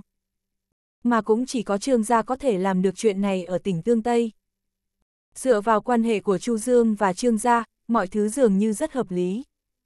Ha ha, đây chẳng là gì cả, tôi đã từng nói, tôi cho Vương Vĩ một cơ hội, nhưng điều này không có nghĩa ông ta có thể dùng mối quan hệ trước đây của tôi để làm việc cho bản thân ông ta. Chu Dương cười nói, bất luận là quảng cáo của nhóm manh manh trước đây, hay phương thức tuyên truyền mà Trương gia hỗ trợ, đều nhờ vào tôi, cửa hàng thành phố Liễu mới có thể có được, bây giờ nếu bọn họ lựa chọn làm việc đơn lẻ, vậy thì những thứ này đương nhiên phải thu về rồi. Giọng nói của Chu Dương rất nhẹ nhàng, nhưng lọt vào tai của Thẩm Bích Quân lại khiến cô hưng phấn kích động. Cô vẫn luôn ghi nhớ tình cảnh bữa tiệc tối hôm đó cùng với vẻ mặt đắc ý của Vương Vĩ. Sau một tuần, Thẩm Bích Quân cho rằng trước đây Chu Dương chỉ nói qua loa, thật sự không có cách nào phản đòn Vương Vĩ. Nhưng giờ đây, chỉ vòn vẹn mấy ngày, anh đã dồn ép mỹ phẩm thành phố Liễu Thành ra như vậy, để đám người Vương Vĩ gặp hết sóng gió này qua sóng gió khác, khiến cô thật sự rất hả giận. Chu Tổng, Thẩm Tổng. Lúc này, Vương Đại Lục vội vàng đi vào phòng, trên mặt hiện rõ sự kích động và hưng phấn. chương 568, gặp mặt một. Có chuyện gì vậy? Thẩm Bích Quân trở lại với dáng vẻ nữ thần lạnh lùng, sau khi chăm chú quan sát, cô thản nhiên nói. Thẩm Tổng, Triệu Thành cũng đã rời khỏi Mỹ Phẩm ở thành phố Liễu, ông ta vừa gọi điện thoại cho tôi, nói rằng chiều nay phải trở về Đông Hải, bảo tôi hỏi Chu Tổng, không biết cậu có thời gian rảnh không, ông ta muốn gặp cậu một chút. Vương Đại Lục hăng hái nói. Trên thực tế, quan hệ của ông với Triệu Thành vô cùng tốt. Lúc trước khi công ty của ông Lâm vào đường cùng, cũng nhờ Triệu Thành đã ra tay giúp đỡ. Sau khi hợp tác với công ty Danh Dương, Triệu Thành càng ủng hộ ông nhiều hơn. Nếu không chỉ dựa vào một mình ông thì thật sự không có cách nào vực dậy được công ty của mình, càng không có cách đưa công ty lên tầm cao như bây giờ. Cho nên, vừa nghe tin Vương Vĩ phản bội, Vương Đại Lục vô cùng tức giận. Vì ông biết được, Triệu Thành là cộng sự làm ăn với Vương Vĩ. Vương Vĩ đã phản bội, vậy thì Triệu Thành cũng trở thành kẻ đồng lõa. Nhưng bây giờ, Triệu Thành cuối cùng cũng đã biết ăn năn hối lỗi, Vương Đại Lục đương nhiên vô cùng phấn khích. Ít nhất, đợi đến khi trở về Đông Hải, hai người còn có thể gặp mặt, ôn hòa nhã nhặn trò chuyện vui vẻ như ngày xưa. Triệu Thành Chu Dương hơi ngạc nhiên, anh biết người tên là Triệu Thành này, hắn không những là một trong tám cộng sự làm ăn của Vương Vĩ, mà còn là người nắm trong tay không ít cổ phần. Bây giờ hắn lựa chọn rút khỏi Mỹ phẩm thành phố Liễu, trở về Đông Hải vào buổi chiều nay, việc này trái lại khiến Chu Dương thắc mắc không hiểu lắm. Ừ, ông nói chuyện với ông ta đi, bảo ông ta đến trường xa. Lúc này đối phương muốn gặp thì Chu Dương cũng không có lý do gì để từ chối, anh lập tức đồng ý. Trường Sa, buổi chiều. Triệu Thành đến khách sạn Khải Nguyên, đi thẳng đến tầng trệt nơi mấy người Chu Dương đang ở. Trước kia dù sao hắn cũng đã từng ở đây, do đó biết được phòng của Chu Dương. Mà bên cạnh hắn còn đi cùng với một người. Chỉ là người này dọc đường đi không hề nói một lời nào. Chu Tổng, Thẩm Tổng. Sau khi cánh cửa được mở ra, Triệu Thành cùng người bên cạnh hắn đi vào phòng, chào hỏi nhau xong, mọi người lập tức ngồi xuống. Lúc này, người kinh ngạc nhất không phải ai khác mà chính là Chu Dương. Buổi sáng, Vương Đại Lục đã nói Triệu Thành muốn đến gặp anh, anh đã không từ chối, lập tức đồng ý.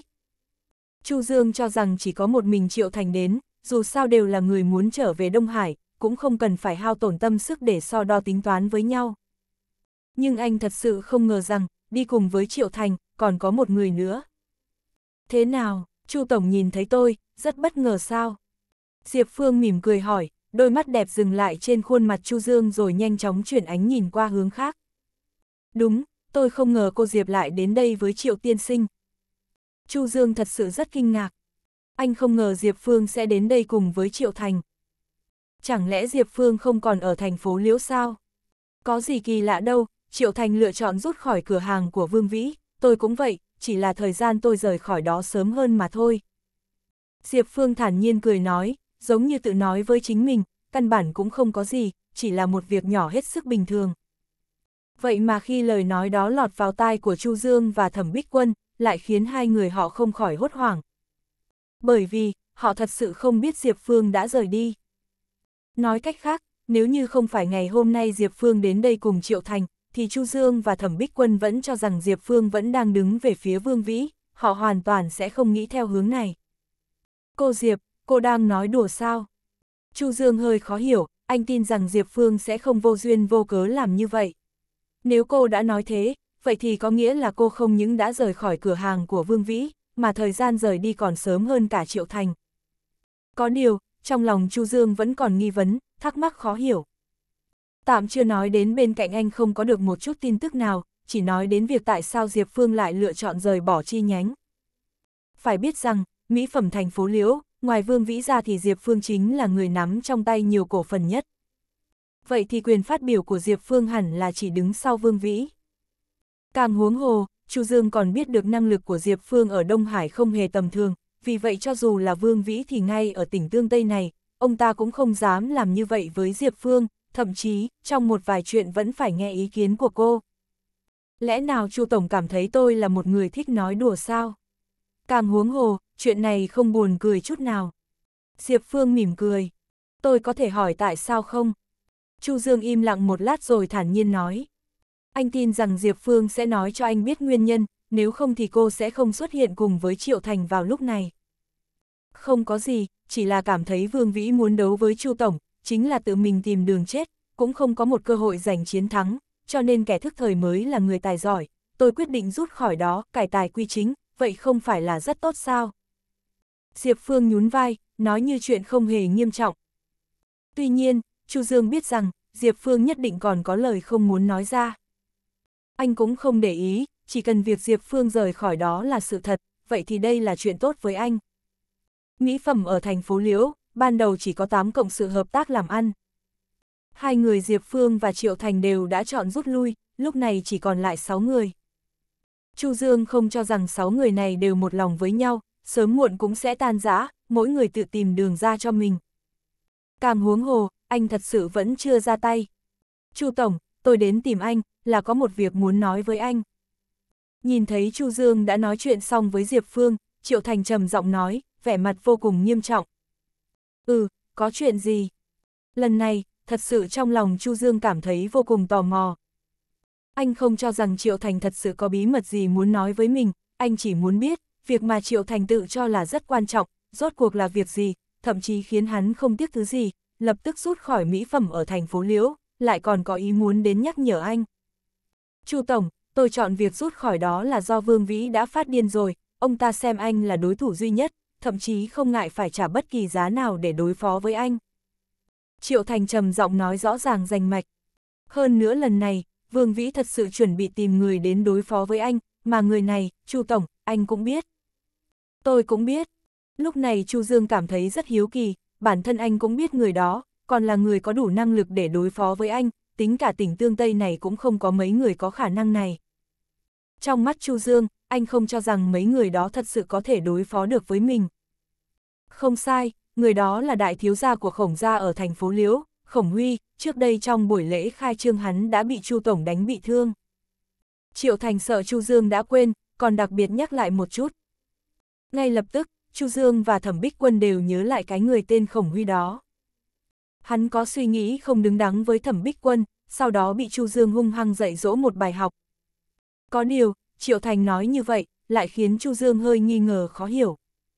Khổng Huy đó không phải là một nghệ sĩ được tuyển chọn từ chương trình âm nhạc sao? Mà theo như Vương Vĩ nói, ở thành phố Liễu, hắn chỉ là một người có tiếng tăm nhỏ mà thôi. Vậy sao bây giờ từ trong miệng của Triệu Thành, Khổng Huy này lại có năng lực chống đối lại Chu Dương, thậm chí, Vương Vĩ vì để cầu xin sự giúp đỡ của Khổng Huy, mà bất chấp tất cả.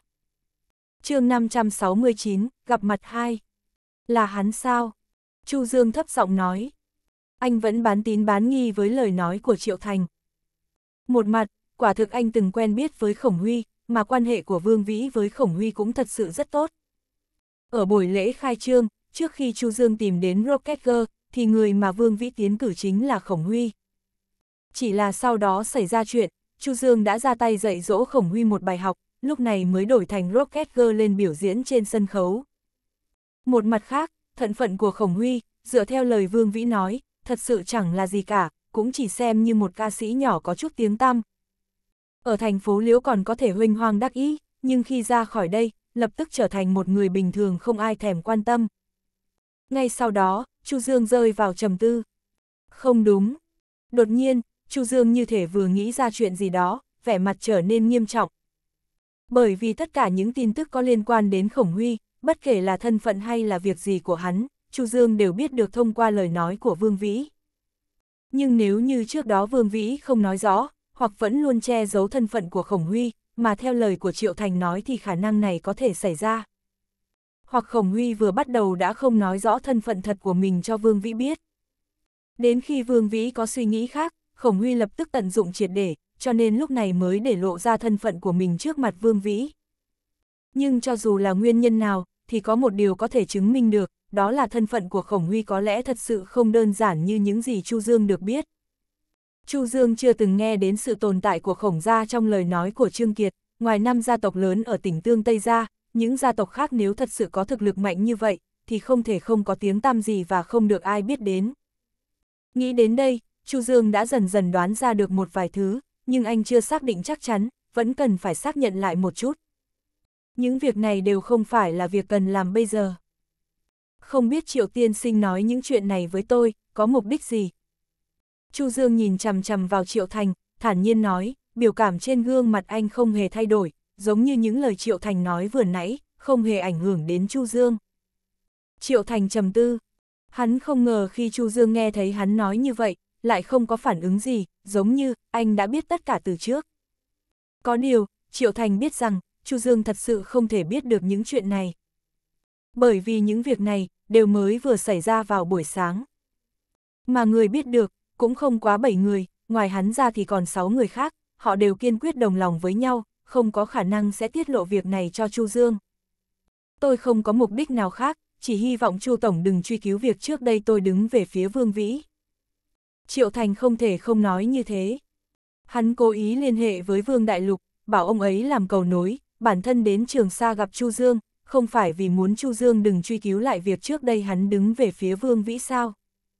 Ở tỉnh Tương Tây, Chu Dương không có cách đối phó với hắn. Nhưng về đến Đông Hải thì thế nào? Phải biết rằng, năng lực của Chu Dương ở Đông Hải còn lớn mạnh hơn ở tỉnh Tương Tây.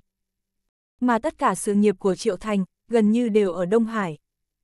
Một khi Chu Dương truy cứu thì hắn thật sự không thể trốn thoát. Do đó, trước khi quay trở về Đông Hải, Triệu Thành cần phải có được sự tha thứ của Chu Dương. Ít nhất cũng phải làm cho Chu Dương không đối phó với hắn. Ha ha, tôi không phải là người bụng dạ hẹp hòi, Triệu Tiên sinh ăn năn hối lỗi, tôi đương nhiên sẽ chào đón, còn việc truy cứu, điều đó căn bản là chuyện vô căn cứ, tôi có lập trường gì mà đi truy cứu Triệu Tiên sinh đây. Chu Dương bình thản cười nói, xua tay tỏ ý không để bụng. Nếu như hôm nay Triệu Thành đến, mục đích chỉ nói đến việc này thì Chu Dương sẽ không để tâm. Thậm chí, ngay cả mấy cộng sự hợp tác làm ăn còn lại, anh cũng không có ý định truy cứu. E rằng, cũng chỉ có Vương Vĩ mới đủ khả năng khiến Chu Dương tức giận. Suy cho cùng, Chu Dương cũng không phải là người vô tình. Cho dù cuối cùng Vương Vĩ thất bại thảm hại, trở về Đông Hải, Chu Dương cũng sẽ không để ông ta gặp phải cảnh tan cửa nát nhà. Cùng lắm chỉ thu lại một ít lợi nhuận rồi thôi. Phù, vậy tôi vô cùng cảm ơn Chu Tổng. Triệu Thành thở phào nhẹ nhõm, tuy rằng không biết lời này của Chu Dương rốt cuộc là thật hay giả, nhưng tốt xấu gì cũng là một lời đảm bảo, ít nhất cũng có thể khiến hắn an tâm hơn. Còn sau khi về đến Đông Hải, có bị trả thù hay không, đó lại là chuyên sau này. Được rồi, sự việc của Triệu Tiên Sinh cũng đã xong, bây giờ nói về chuyện của cô đi. Chu Dương mỉm cười, không quan tâm tới phản ứng của Triệu Thành. Đôi mắt của anh nhanh chóng nhìn Diệp Phương. Anh biết, Diệp Phương đã chọn đến đây cùng Triệu Thành thì nhất định là có mục đích. Nếu như dựa vào lời mà Diệp Phương nói, vừa bắt đầu cô đã chọn rút khỏi cửa hàng của Vương Vĩ, vậy thì trong khoảng thời gian dài như vậy, tại sao cô lại không quay trở về Đông Hải, cũng không đến tìm anh, thậm chí không hề xuất hiện ở thành phố Liễu. Nghe Chu Dương nói như vậy, ánh mắt của Thẩm Bích Quân và Triệu Thành cũng đặt trên người Diệp Phương. Thẩm Bích Quân hơi ngạc nhiên, cô không biết Chu Dương nói như vậy rốt cuộc là có ý gì, lẽ nào Diệp Phương thật sự có chuyện gì sao? Có điều vào lúc này, thẩm bích quân lại phát hiện ra một việc, Diệp Phương rất giống với cô gái đã bước ra khỏi phòng của Chu Dương vào trước một ngày buổi khai trương được tổ chức. Lúc đó cô có hỏi Chu Dương, nhưng anh vẫn luôn im lặng không nói. Xem ra cô gái đó chính là Diệp Phương. Vào lúc này, ánh mắt thẩm bích quân nhìn qua nhìn lại giữa Chu Dương và Diệp Phương, cô muốn biết, giữa hai người có phải có mối quan hệ nào khác nữa hay không? Chu Tổng, Vương Vĩ lựa chọn phản bội, chẳng lẽ anh không tức giận chút nào sao? Diệp Phương thản nhiên cười nói, cơ thể hơi nghiêng về phía trước, rút ngắn khoảng cách với Chu Dương. Tức giận, tại sao tôi lại phải tức giận? Chu Dương mỉm cười, anh thực sự không có hứng thú với lời nói của Diệp Phương, đây rõ ràng là đang kích tướng, mà còn không có chút kỹ thuật che giấu nào, anh làm sao có thể bị lừa được chứ? Vương Vĩ không những làm như vậy với anh, mà còn coi thường anh, lẽ nào anh lại xem như không có gì? Diệp Phương không chịu bỏ qua, giống như rất muốn Chu Dương nói ra điều gì đó. Cô từng thấy chim sẻ kêu loạn ở trước mặt Diều Hâu chưa, Diều Hâu sẽ quan tâm đến nó sao? Chu Dương thản nhiên nói. Nghe thấy vậy, Diệp Phương lập tức mỉm cười. Tuy rằng Diệp Phương đã hơn 30 tuổi, đang bước vào ngưỡng cửa tuổi 40, nhưng bởi vì được bảo dưỡng thích hợp, nên dáng vẻ xem ra cũng chỉ mới hơn 20 tuổi, trên người cô toát ra một vẻ đẹp cuốn hút, hết sức mê hoặc lòng người. Tuy rằng Chu Tổng không làm gì, nhưng tôi lại không nhẫn nhịn được tính khí của Vương Vĩ, cho nên tôi đến đây là muốn hợp tác với Chu Tổng. Hai chân Diệp Phương nhấc lên, đổi lại một chút, dáng ngồi đối diện với Chu Dương lại càng thêm mềm mại yêu kiều, trên mặt của cô nở nụ cười tự tin. Điều này khiến Chu Dương hơi bất ngờ.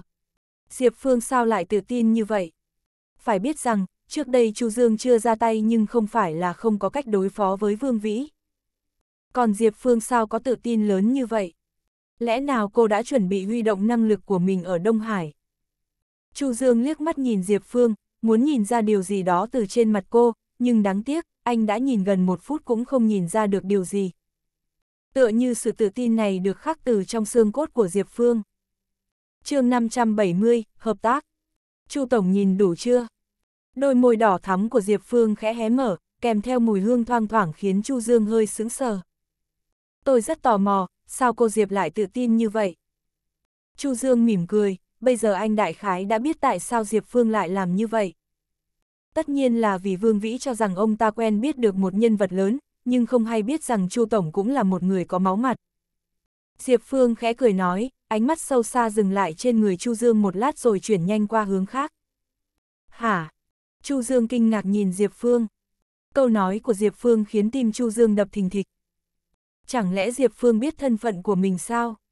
Nhưng Chu Dương nhanh chóng thay đổi suy nghĩ, ở Đông Hải và tỉnh Tương Tây rất ít người biết thân phận thật sự của mình, hơn nữa những người này đều có quan hệ hết sức thân cận, bọn họ không thể nào để lộ thông tin ra ngoài được. Nếu vậy thì chẳng lẽ Diệp Phương còn có hàm ý khác?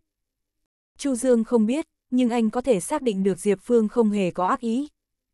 Hơn nữa, trong câu nói vừa nãy của Diệp Phương, rất có thể còn có những ẩn ý sâu xa khác.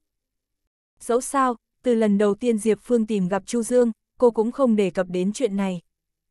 Ngược lại bây giờ, ở trước mặt Chu Dương cô lại nói Chu Dương là một nhân vật lớn, điều này không khỏi khiến người khác phải suy nghĩ. Không biết cô Diệp muốn hợp tác thế nào. Một lúc sau, Chu Dương mới bình thản nói. Anh vừa dứt lời, đôi mắt Diệp Phương ngay lập tức sáng rực lên, khuôn mặt cũng ngập tràn sự vui sướng, nở nụ cười rạng rỡ. Bởi vì cô biết, Chu Dương nói như vậy nói, có nghĩa anh đã đồng ý với đề nghị của mình. Nhớ đến người tìm gặp và nói chuyện với cô vào mấy ngày trước, trong lòng Diệp Phương thầm hoảng sợ, ánh mắt nhìn Chu Dương cũng trở nên phức tạp và kính cẩn hơn.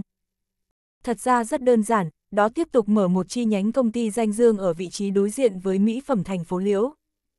Diệp Phương tràn đầy tự tin nói. Lần này, không chỉ Chu Dương mà ngay cả Thẩm Bích Quân và Triệu Thành cũng hết sức kinh ngạc. Bọn họ không ngờ rằng, biện pháp đối phó với Vương Vĩ mà Diệp Phương nói đến lại là biện pháp này. Mở một chi nhánh công ty danh dương ở đối diện cửa hàng mỹ phẩm thành phố Liễu. Phải biết rằng, chi nhánh trước kia mở ở phố đi bộ của thành phố Liễu, trên thực tế, bất kể trước giai đoạn tuyên truyền hay các hoạt động trong buổi lễ khai trương đều sử dụng danh tiếng và thương hiệu của công ty danh dương. Có thể nói, thương hiệu của công ty danh dương đã từng sử dụng ở thành phố Liễu. Hơn nữa, sau khi xảy ra sự việc Vương Vĩ phản bội, mỹ phẩm thành phố Liễu đã gây ra náo động không nhỏ ở thành phố Liễu, khiến không ít người dân ở đây xem thường nội bộ của công ty danh dương. Mà bây giờ, Diệp Phương lại đưa ra ý kiến mở thêm một chi nhánh ở ở thành phố Liễu. Liệu có thể làm vậy được không? Gương mặt của Thẩm Bích Quân và Triệu Thành đều rất tò mò nhìn Diệp Phương. Trái lại nét mặt Chu Dương lúc đầu thoáng chút ngạc nhiên, sau đó nhanh chóng khôi phục lại dáng vẻ bình thường. Như thể anh không hề cảm thấy cách làm của Diệp Phương có gì không ổn hay không đúng. Xem ra Chu Tổng coi trọng đề nghị này của tôi. Diệp Phương vẫn luôn quan sát nét mặt của Chu Dương, khi nhìn thấy biểu cảm kinh ngạc của anh lúc đầu, trên thực tế cô cũng hơi đắc ý. Bởi vì mấy ngày vừa qua cô ở trong khách sạn vắt óc suy nghĩ mới nghĩ ra được cách làm này, ngoại trừ cách này ra, cô cũng không nghĩ được thủ đoạn nào tốt hơn để phản đòn với Vương Vĩ. Cho dù lợi dụng thực lực ở Đông Hải để tiến hành đả kích với sản nghiệp của Vương Vĩ thì Diệp Phương cũng thể xóa sạch nổi bất mãn trong lòng. Nhưng sau khi Diệp Phương nhìn thấy Chu Dương nhanh chóng khôi phục lại dáng vẻ bình tĩnh của mình, sau đó không hề có một chút biểu cảm trên khuôn mặt, cô ngay lập tức sững sờ tại chỗ. Chẳng lẽ Chu Dương không tin ý kiến của mình sao? Đây là suy nghĩ đầu tiên trong đầu Diệp Phương. Nhưng nó đã nhanh chóng bị cô loại trừ. Với những hiểu biết của cô về Chu Dương, anh là một người vô cùng tự tin, huống hồ, mấy ngày trước cô biết được một vài thông tin từ trong lời nói của người kia, khiến Diệp Phương cho rằng Chu Dương sẽ không hoài nghi đề nghị vừa nãy. Vậy thì chỉ còn lại một khả năng. Chu Dương đã sớm nghĩ đến biện pháp này, thậm chí, ngay cả khi Diệp Phương không nói ra thì sau này Chu Dương cũng sẽ bắt đầu sắp xếp. Cũng chỉ có như vậy, nên lúc đầu Chu Dương mới tỏ vẻ kinh ngạc, đó không phải là hoài nghi, mà bất ngờ khi Diệp Phương nói ra ý kiến giống hệt ý nghĩ của anh.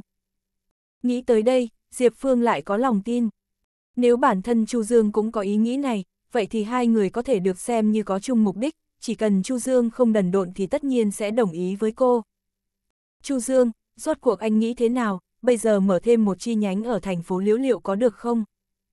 Thẩm Bích Quân nghi ngờ hỏi. Cô không hề suy nghĩ nhiều như Diệp Phương, suy cho cùng, thân là chủ tịch của công ty danh dương, nhưng cô rất ít khi đưa ra quyết định những việc trong công ty mà phần lớn đều giao cho Chu Dương xử lý. Càng huống hồ, dự án phát triển chi nhánh này, ban đầu là thứ mà Chu Dương lấy ra để chuẩn bị hợp tác với Trương gia. Thẩm Bích Quân cũng chỉ hiểu đại khái sơ lược. Được thì cũng được thôi, tuy nhiên cô Diệp vừa bị Vương Vĩ chèn ép bắt phải từ bỏ cổ phần ở Mỹ phẩm thành phố Liễu, làm sao tôi có thể tin tưởng cô có khả năng kinh doanh tốt chi nhánh mới mở, để đối đầu với Mỹ phẩm thành phố Liễu của Vương Vĩ. Chu Dương khẽ gật đầu, ánh mắt sâu xa nhìn Diệp Phương, như thể đang dò xét tâm tư của cô. Dẫu sao, trong mắt người ngoài ý tưởng này đúng là vô cùng điên cuồng và thiếu thực tế. Cho dù đối với người trong ngành mà nói, đây cũng là cách làm khiến người khác hết sức kinh ngạc khiếp sợ. Trừ phi là các công ty tập đoàn đứng đầu trong cả nước, liên kết móc nối các công ty nhỏ trên toàn quốc, mới có thể làm như vậy. Với những công ty có quy mô rộng lớn, trong nội bộ có đến vài thương hiệu, họ sẽ để vài thương hiệu đó đồng thời xuất hiện trên cùng một con phố, thậm chí là đặt sát cạnh nhau. Chu Dương biết, ở trong nước những công ty làm như vậy thật sự không nhiều. Mặc dù không ít công ty cũng có khả năng làm được, nhưng nếu làm như vậy thì nguy hiểm quá lớn. Chu Dương biết trong số những công ty này, có một công ty thiết bị điện thoại di động từng làm như vậy. Nhiều con đường trên các thành phố lớn ở cả nước, mọi người thường có thể nhìn thấy rất nhiều các cửa hàng thương hiệu điện thoại di động gần nhau, cho dù là khoảng cách xa hơn một chút thì cũng chỉ cách nhau một con đường mà thôi. Chỉ cần đứng ở trong một cửa hàng, nhìn chung quanh một lượt, nhất định có thể thấy những cửa hàng khác gần đó. Chu Dương biết rằng, công ty này đã dùng cách làm như vậy, tung ra thị trường hai thương hiệu điện thoại di động để mọi người đều biết trong thời gian ngắn và thị phần của nó cũng từng bước được nâng cao. Mà bây giờ, mặc dù ý kiến của Diệp Phương không giống với công ty kia lắm, nhưng nó cũng có hiệu quả hay như nhau. Cho nên tôi mới muốn hợp tác với Chu Tổng. Diệp Phương khẽ cười nói. Ngay sau đó, dưới ánh mắt chăm chú quan sát của mọi người, Diệp Phương lấy ra một tập tài liệu trong túi sách của mình. Chu Dương liền mỉm cười khi nhìn thấy tập tài liệu. Anh biết, khoảng thời gian này, không có tin tức gì của Diệp Phương, thậm chí không thấy bóng dáng của cô đâu, e rằng là vì tập tài liệu này. Ngay lập tức, Chu Dương không chút do dự, cầm lấy tập tài liệu mở ra xem nội dung bên trong. chương 571, Vương Vĩ không ổn. Chu Dương xem tài liệu, cũng biết rõ kế hoạch cụ thể của Diệp Phương. Mà những kế hoạch này không khác suy nghĩ của Chu Dương là bao. Có thể nói, nếu không phải Chu Dương chắc chắn mình chưa nói suy nghĩ trong lòng cho người khác nghe, anh nhất định sẽ nghi ngờ Diệp Phương này có khả năng đọc ý nghĩ, có thể biết được mọi suy nghĩ của anh. Thế nhưng, tương tự thì vẫn có điểm khác biệt, mà điểm này trong mắt Chu Dương cũng không quá quan trọng.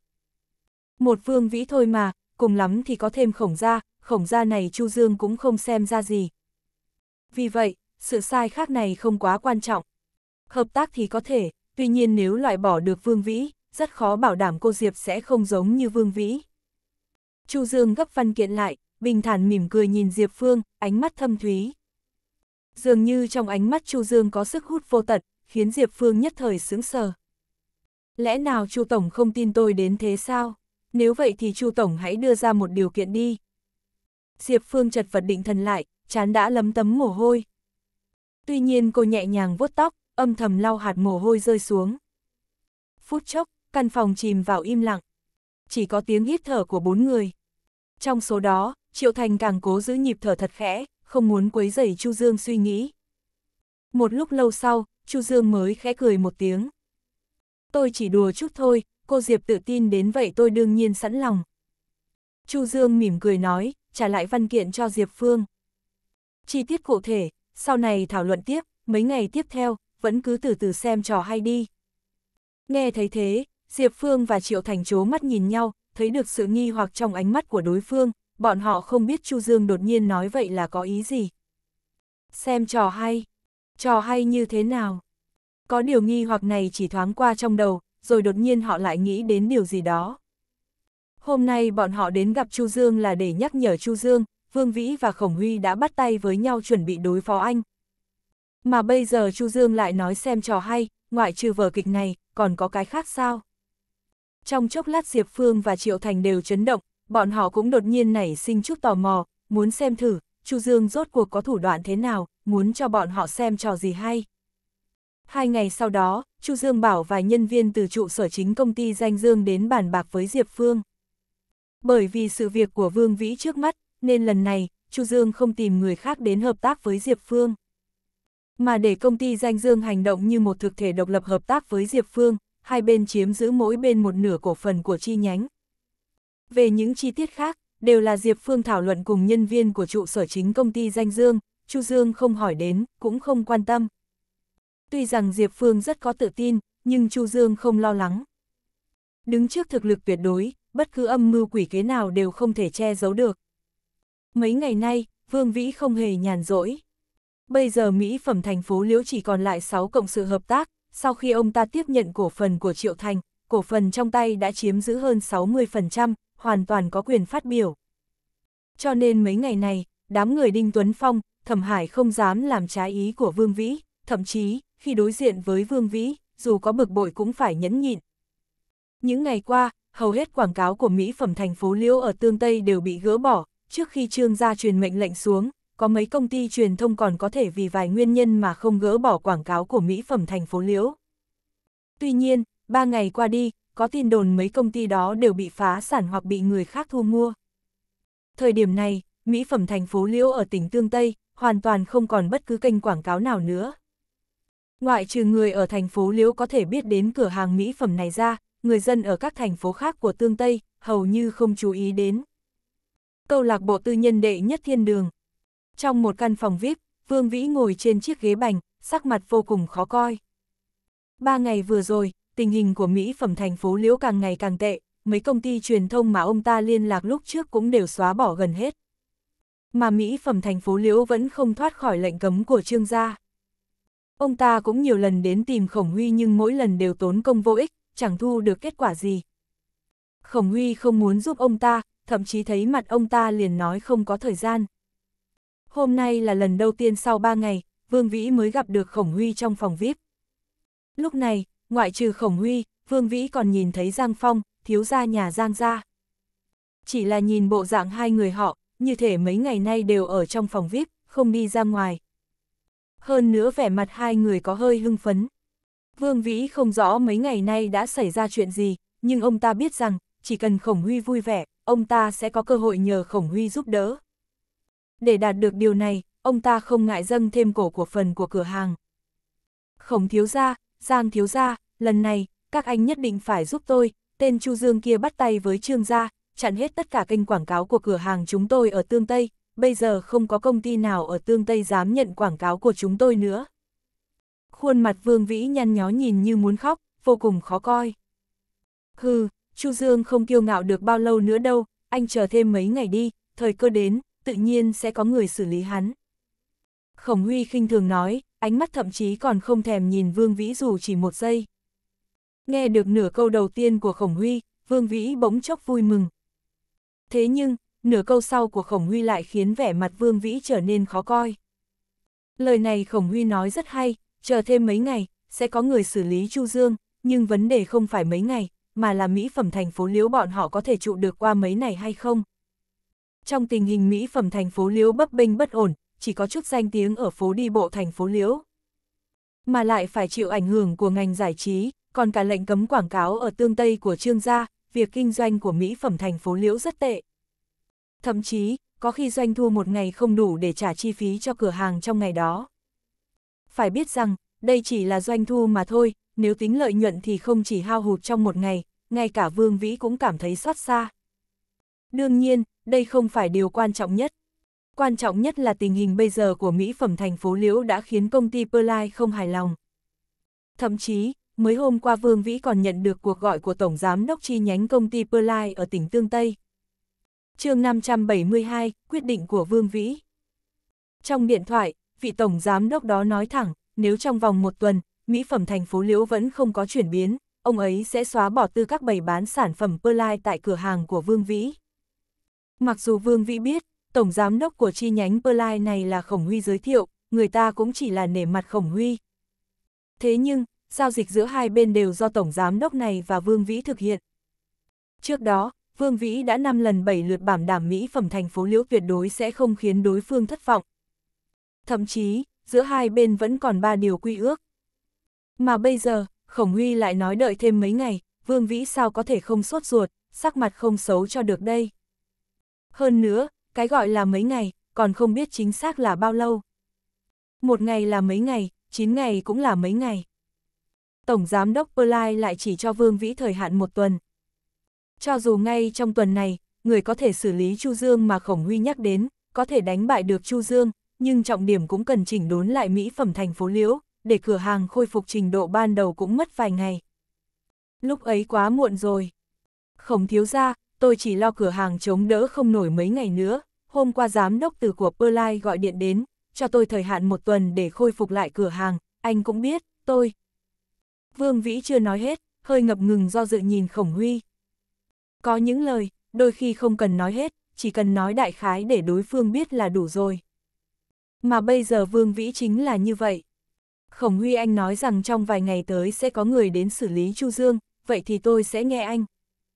Thế nhưng cửa hàng của tôi chắc chắn không chống đỡ nổi một tuần, hơn nữa đây còn là thời hạn mà người anh giới thiệu định ra, nên làm thế nào, khổng thiếu ra anh thử nói xem. Dẫu sao ngày cả tượng đất cũng có ba phần tính khí. Mặc dù Vương Vĩ nhờ cậy khổng huy khá nhiều, nhưng suy cho cùng, Vương Vĩ cũng không phải không có khổng huy giúp đỡ thì không được. Chỉ là trước mắt cục tức này ông ta nuốt không trôi. Trừ phi giữa ông ta và Chu Dương phân rõ thắng bại, bằng không, ông ta tuyệt đối không cam lòng. Hừ, chuyện nhỏ như vậy anh cũng không xử lý được, ban đầu không hiểu sao tôi lại hợp tác với anh chứ. Khổng Huy liếc mắt nhìn Vương Vĩ, lạnh lùng nói, giọng điệu đầy bất mãn. Hắn thực sự không hiểu, ban đầu sao mình lại lựa chọn hợp tác với Vương Vĩ. Bản thân bị Chu Dương đánh một trận, không có cách nào dùng lực lượng của gia tộc trực tiếp ra tay với Chu Dương. Mà sau mấy lần giúp Vương Vĩ cũng khiến Khổng Huy cảm thấy hết sức bực bội. Liên lạc với Tổng Giám đốc chi nhánh Perlai ở Tương Tây, làm trung gian giới thiệu Vương Vĩ và mỹ phẩm thành phố Liễu vẫn là do hắn dùng danh nghĩa khổng gia để làm. Một công ty lớn như Perlai, cho dù chỉ là một tổng giám đốc chi nhánh tỉnh lẻ, khổng gia cũng không thể tùy ý sai bảo được. Dù khổng huy biết những người ngoài khổng gia không thấy, nhưng hắn cũng phải đánh đổi không ít.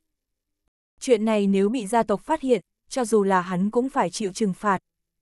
Sau đó còn giúp Vương Vĩ tạo quan hệ trong giới giải trí, liên lạc với một vài công ty, để không ít người nổi tiếng giúp quảng cáo.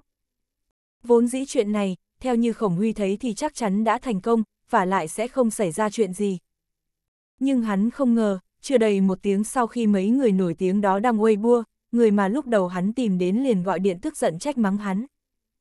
Quan trọng đối phương là người của gia tộc lớn ở thủ đô, cũng là người lúc trước hắn ta quen biết. Khổng Huy biết thực lực gia tộc của đối phương ở thủ đô không phải cao nhất, chỉ là gia tộc hạng 2, nhưng ở tương Tây, cho dù là khổng gia cũng không thể khinh thường. Dù vậy, mấy người nổi tiếng của công ty đối phương từng người một đều bị phanh phui xì căng đan và tư liệu đen, bỗng chốc trở thành khối u nhọt của giới giải trí. Khổng Huy bị đối phương trách mắng một trận. Tất cả chuyện này đều là vì giúp Vương Vĩ và cái mỹ phẩm thành phố liễu rách nát kia. Lần trước hắn cũng đã nhận được 5% cổ phần từ Vương Vĩ. Giá trị của thứ đó không đáng với những gì hắn phải chịu đựng. Lần này, Vương Vĩ vẫn muốn hắn ra tay giúp đỡ. Khổng Huy thậm chí cảm thấy mình không dạy cho Vương Vĩ một bài học sâu sắc, để chút hết bất mãn của bản thân đã tốt lắm rồi, sao còn có khả năng giúp ông ta chứ? Khổng thiếu gia, tôi cũng hết cách rồi, Chu Dương đó hợp tác với Trương gia, mượn sức của Trương gia, một mình tôi sao có thể là đối thủ được. Vương Vĩ không ngừng kêu oan. Thực ra mỗi câu Khổng Huy nói vừa nãy, trái tim Vương Vĩ đều run rẩy. Bởi vì ông ta nghe ra trong lời nói của Khổng Huy có sự không hài lòng. Là không hài lòng với Vương Vĩ hắn, mà còn là vô cùng không hài lòng. Ngay lúc ấy, trong lòng Vương Vĩ rất giận dữ bất cần, muốn thẳng thắn phản bác. Tuy nhiên lý trí khiến Vương Vĩ bình tĩnh lại. Hôm nay ông ta đến cầu xin Khổng Huy giúp đỡ, không phải cá chết lưới rách. Nếu ông ta thực sự trở mặt với Khổng Huy, thì không những không nhận được sự trợ giúp của Khổng Huy, mà còn có thể thêm một kẻ địch là Khổng Huy, có thể là cả Khổng gia. Hơn nữa, quan hệ giữa Khổng Huy và Giang Phong hình như khá tốt, một khi Giang Phong cũng ra tay vì Khổng Huy, đồng nghĩa với việc Giang gia sẽ trở thành ngọn núi đè ép lên vai Vương Vĩ. Mà với thực lực của Vương Vĩ, đối mặt với Chu Dương đã khó khăn, liên tiếp thất bại, chưa kể khổng gia lúc này trong lòng ông ta còn đáng sợ hơn cả Chu Dương. Vẫn xin khổng thiếu gia giúp đỡ tôi, tôi bằng lòng gửi tặng khổng thiếu gia 30% cổ phần. Một khi đánh bại Chu Dương, mỹ phẩm thành phố Liễu nhất định sẽ phát triển lớn mạnh ở thành phố Liễu, tới lúc đó, đây chính là công ty danh dương thứ hai. Vương Vĩ vội vàng nói, đến cả thỏa thuận chuyển nhượng cổ phần cũng lấy ra, hai tay đưa đến trước mặt Khổng Huy. 30% cổ phần này là con số tốt nhất mà Vương Vĩ vắt óc suy nghĩ mới có được. Đinh Tuấn Phong, Trầm Hải và mấy đối tác kiên quyết đứng về phía ông ta, còn lấy cổ phần của họ giao cho ông ta, lúc đến xin Khổng Huy giúp đỡ, Vương Vĩ đã nắm giữ toàn bộ cổ phần của Mỹ phẩm thành phố Liễu. Lúc trước ông ta đưa cho Khổng Huy 5%, cộng thêm 30% này, trong tay Khổng Huy sẽ có 35%. Vương Vĩ trong tay vẫn còn 65%. Nếu vậy, lần tới, ông ta vẫn có thể nhờ gậy Khổng Huy giúp đỡ. 30%. Lúc này, đến lượt Khổng Huy hơi ngạc nhiên, hắn hiểu rất rõ Vương Vĩ này. Tâm tư, tham vọng thì không nói, nhưng keo kiệt lại là nhất. Trước đây, sự keo kiệt của Vương Vĩ thể hiện rất rõ ràng, mỗi lần tổ chức đi liên hoan tụ tập, Vương Vĩ vào lúc nộp tiền luôn kiếm cớ, mấy lần không tham gia. Nhưng lúc đó, mọi người đều đang đi học, cũng không quan tâm nhiều đến chuyện này chương 573, Giang Phong mở lời.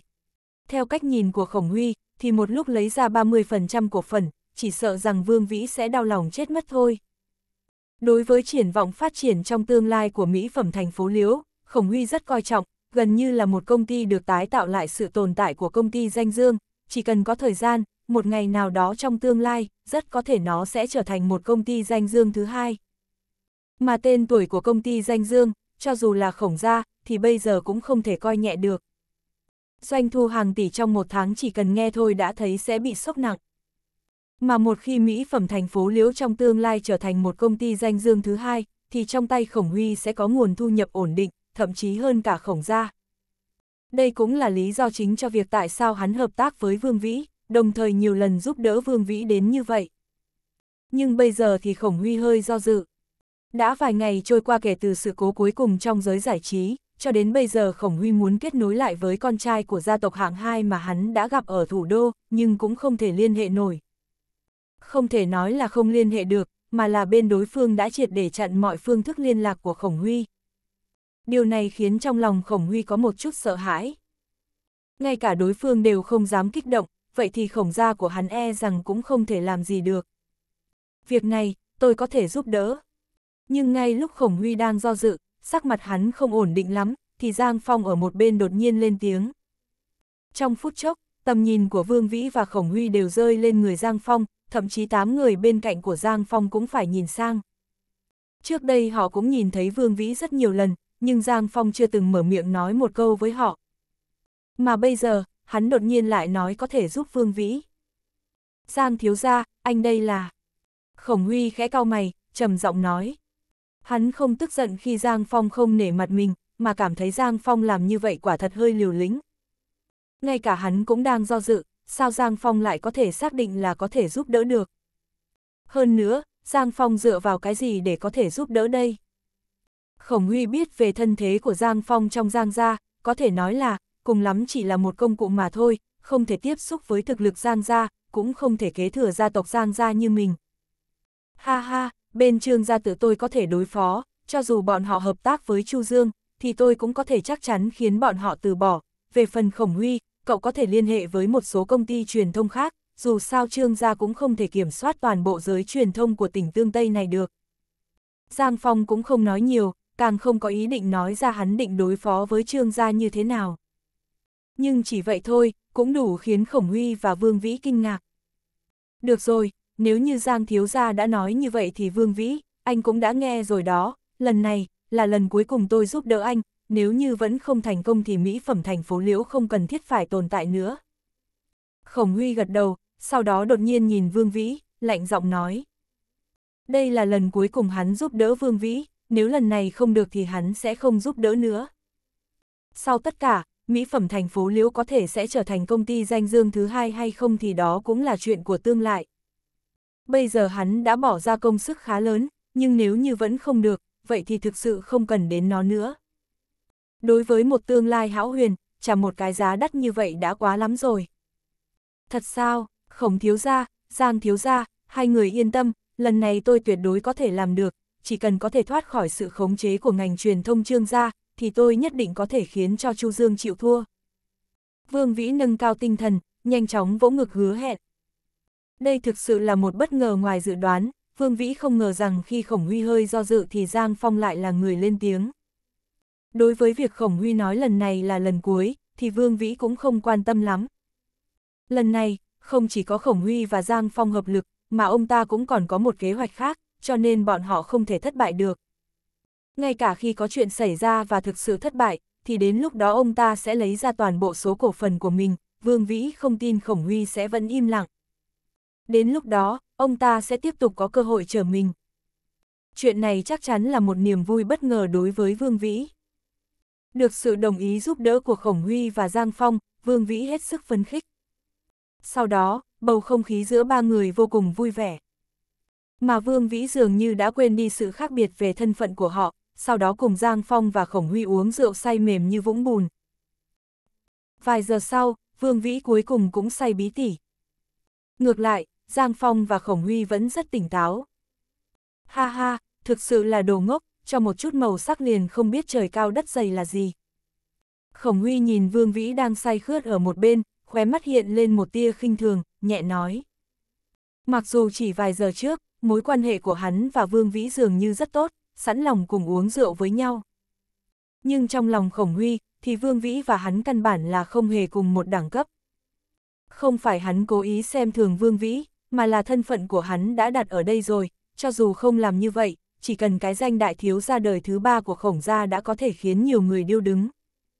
Đưa anh ta rời đi, đừng ở đây chướng mắt tôi. Hắn dùng ánh mắt ra hiệu cho đàn em, để cậu ta kéo Vương Vĩ đi, sau đó Khổng Huy lại liếc nhìn Giang Phong. Trong mấy tiếng đồng hồ vừa rồi, mặc dù Giang Phong vẫn ngồi uống rượu không hề nói chuyện gì, thậm chí, ngay cả Khổng Huy trò chuyện với hắn thì hắn cũng rất kiệm lời. Nhưng Khổng Huy biết, không phải là Giang Phong không muốn nói chuyện, mà là bởi vì có Vương Vĩ ở đây cho nên có nhiều chuyện không thích hợp nói ra. Bây giờ Vương Vĩ đã bị kéo đi rồi, trong phòng VIP bây giờ cũng chỉ có Khổng Huy, Giang Phong và 8 người anh em của Giang Phong mà thôi. Khổng Huy tin chắc, Giang Phong có lẽ chuẩn bị nói ra chuyện gì đó. Nếu không, vừa rồi hắn sẽ không đột nhiên nói có thể giúp đỡ Vương Vĩ việc liên quan đến các kênh truyền thông của Trương gia. Nói đi, Giang thiếu gia, anh có cách gì vậy? Vừa rồi câu nói đó không giống với tính cách của anh. Khổng Huy nghiền ngẫm nhìn Giang Phong. Từ nhỏ đã tiếp xúc khá nhiều với Giang Phong. Giang Phong đã theo sư phụ của khổng gia học võ từ khi còn nhỏ, là một trong ba đệ tử duy nhất. Mà từ nhỏ Giang Phong đều lớn lên ở khổng gia. Chuyện này, cả tỉnh tương cũng rất ít người biết đến. Từ nhỏ mối quan hệ của hai người cũng khá tốt, khổng huy nhiều lần giải quyết những người khổng gia thường chế giễu và gây rắc rối cho Giang Phong, mà thời gian đó Giang Phong cũng suýt chút nữa trở thành đàn em của khổng huy. Vì vậy, khổng huy rất hiểu Giang Phong, biết hắn là một người không thích nói chuyện, hơn nữa càng không thích soi mói chuyện của người khác. Chuyện của Vương Vĩ, đối với Khổng Huy là chuyện có cũng được không có cũng chả sao, còn đối với Giang Phong thì đó là một việc chẳng liên quan gì đến hắn. Tôi làm điều này đương nhiên là có mục đích của tôi, Khổng Huy, cậu có biết lần này tôi đến thành phố Liễu là vì cái gì không? Giang Phong thản nhiên nói, ánh mắt bình tĩnh nhìn về phía trước, cho dù phía trước chẳng có gì ngoài bức tường. Để làm gì? Khi Khổng Huy nghe những lời này, đồng tử của hắn co rút lại, trong lòng hắn cũng đang cân nhắc. chương 574, Bậc Thầy Võ Giả Giang Phong đã ở thành phố Liễu gần nửa tháng, nhưng nửa tháng nay, Khổng Huy thực sự không biết lý do tại sao hắn lại đến đây. Phải biết rằng, nghiêm khắc mà nói, thì Giang Phong đã học thành nghề rồi, hắn có thể đi đâu cũng được không cần thiết phải ở lại thành phố Liễu mãi. Mà trên thực tế, cũng đúng như vậy. Hơn một tháng trước Giang Phong mới rời khỏi khổng gia, để quay về Giang gia ở Trường Sa. Mà chưa được bao lâu thì hắn lại quay về thành phố Liễu. Chuyện này nếu như không có nguyên nhân thì Khổng Huy chắc chắn sẽ không tin. Cậu biết người đại diện hình ảnh của chi nhánh thành phố Liễu trước đây không? Giang Phong bình thản nói. Giang Yến. Khổng Huy suy nghĩ một lát, hình như hắn quả thực đã nhìn thấy tấm ảnh quảng cáo cực lớn treo ngoài cửa hàng, người trong ảnh chính là Giang Yến. Giang Yến, là con gái duy nhất của bố nuôi tôi. Giang Phong khẽ nói. Tuy nhiên, Khổng Huy nghe thấy vậy lại như xét đánh ngang tai, hết sức bất ngờ. Cái gì, Giang Yến là đại tiểu thư của Giang gia, sao có thể chứ? Khổng Huy kinh ngạc đứng bật dậy, liếc nhìn Giang Phong một cái, sau đó nhìn về phía tám người kia, lại phát hiện bọn họ đều bình tĩnh, hiển nhiên đã biết chuyện này từ lâu. Hóa ra là vậy, lần này anh đến thành phố Liễu chắc là để đưa Giang Đại Tiểu Thư trở về Giang ra đúng chứ. Sau một hồi kinh ngạc, Khổng Huy cũng dần dần bình tĩnh trở lại, sau đó cũng nghĩ ra rất nhiều chuyện. Mà mục đích Giang Phong đến thành phố Liễu lần này, hắn cũng đã đoán ra được. Suy cho cùng, những gia tộc lớn như Giang gia cũng rất coi trọng vẻ bề ngoài của gia tộc. Giang Yến là con gái duy nhất của Giang Hành Nguyên, lại đi làm người đại diện hình ảnh cho một chi nhánh bình thường, để lộ ra bộ mặt của mình. Đối với Giang gia mà nói thì đây là một vấn đề coi nhẹ thể diện gia tộc. Giang Phong đến thành phố Liễu, nhất định là theo mệnh lệnh gì đó, hoặc ít nhất là mệnh lệnh của nhị gia Giang Hành Nguyên, đưa Giang Yến trở về Giang gia. Nhưng Giang Tiểu Thư đâu? Tuy nhiên, Khổng Huy đã thay đổi suy nghĩ, dường như từ đầu đến cuối hắn không hề nhìn thấy Giang Yến. Kể từ lúc Giang Phong xuất hiện tính đến bây giờ, cũng đã sắp nửa tháng rồi, nhưng hắn chưa từng nhìn thấy cô ấy. Dựa trên lý thuyết thì Giang Phong lên đường đến đây, mục đích là dẫn Giang Yến trở về, chuyện này khá là nhẹ nhàng đơn giản. Nhưng, Khổng Huy không tiếp tục suy nghĩ nữa, bởi vì hắn thấy sắc mặt của Giang Phong tuy rằng không có nhiều thay đổi, nhưng vẻ mặt của tám người kia lại u ám hơn. Hơn nữa, họ còn nghiến răng kèn kẹt, như thể ai đó đã khiêu khích họ. Lẽ nào? Trong đầu Khổng Huy vừa lóe lên một suy nghĩ, hắn cũng không tiếp tục suy nghĩ sâu xa nữa. Bởi vì, hắn không muốn nghĩ về điều đó một chút nào. Với thực lực của Giang Phong ở tỉnh Tương Tây, có thể nói là thế hệ trẻ gần như bất khả chiến bại. Ngay cả một số người thuộc thế hệ trước cũng không phải là đối thủ của hắn.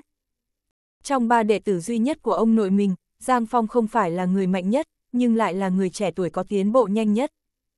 Một người như vậy, muốn đưa Giang Yến trở về thì rất dễ dàng. Nhưng tình hình trước mắt xem ra là Giang Phong đã thất bại. Hơn nữa, còn có sự giúp đỡ của tám anh em khác cũng cũng không thể thành công. Có thể Giang Yến đã uy hiếp Giang Phong, hoặc đối phương còn có thực lực mạnh hơn Giang Phong. Đều tại tên Chu Dương đó, không ngờ bên cạnh hắn lại còn có một cao thủ khác, Giang Thiếu Gia cũng không nắm chắc phần thắng, do đó muốn đưa Giang Tiểu Thư đi thì việc này lại khó hơn rất nhiều lần. Đột nhiên, một người đàn ông cay đắng nói, sắc mặt tối sầm như gan lợn.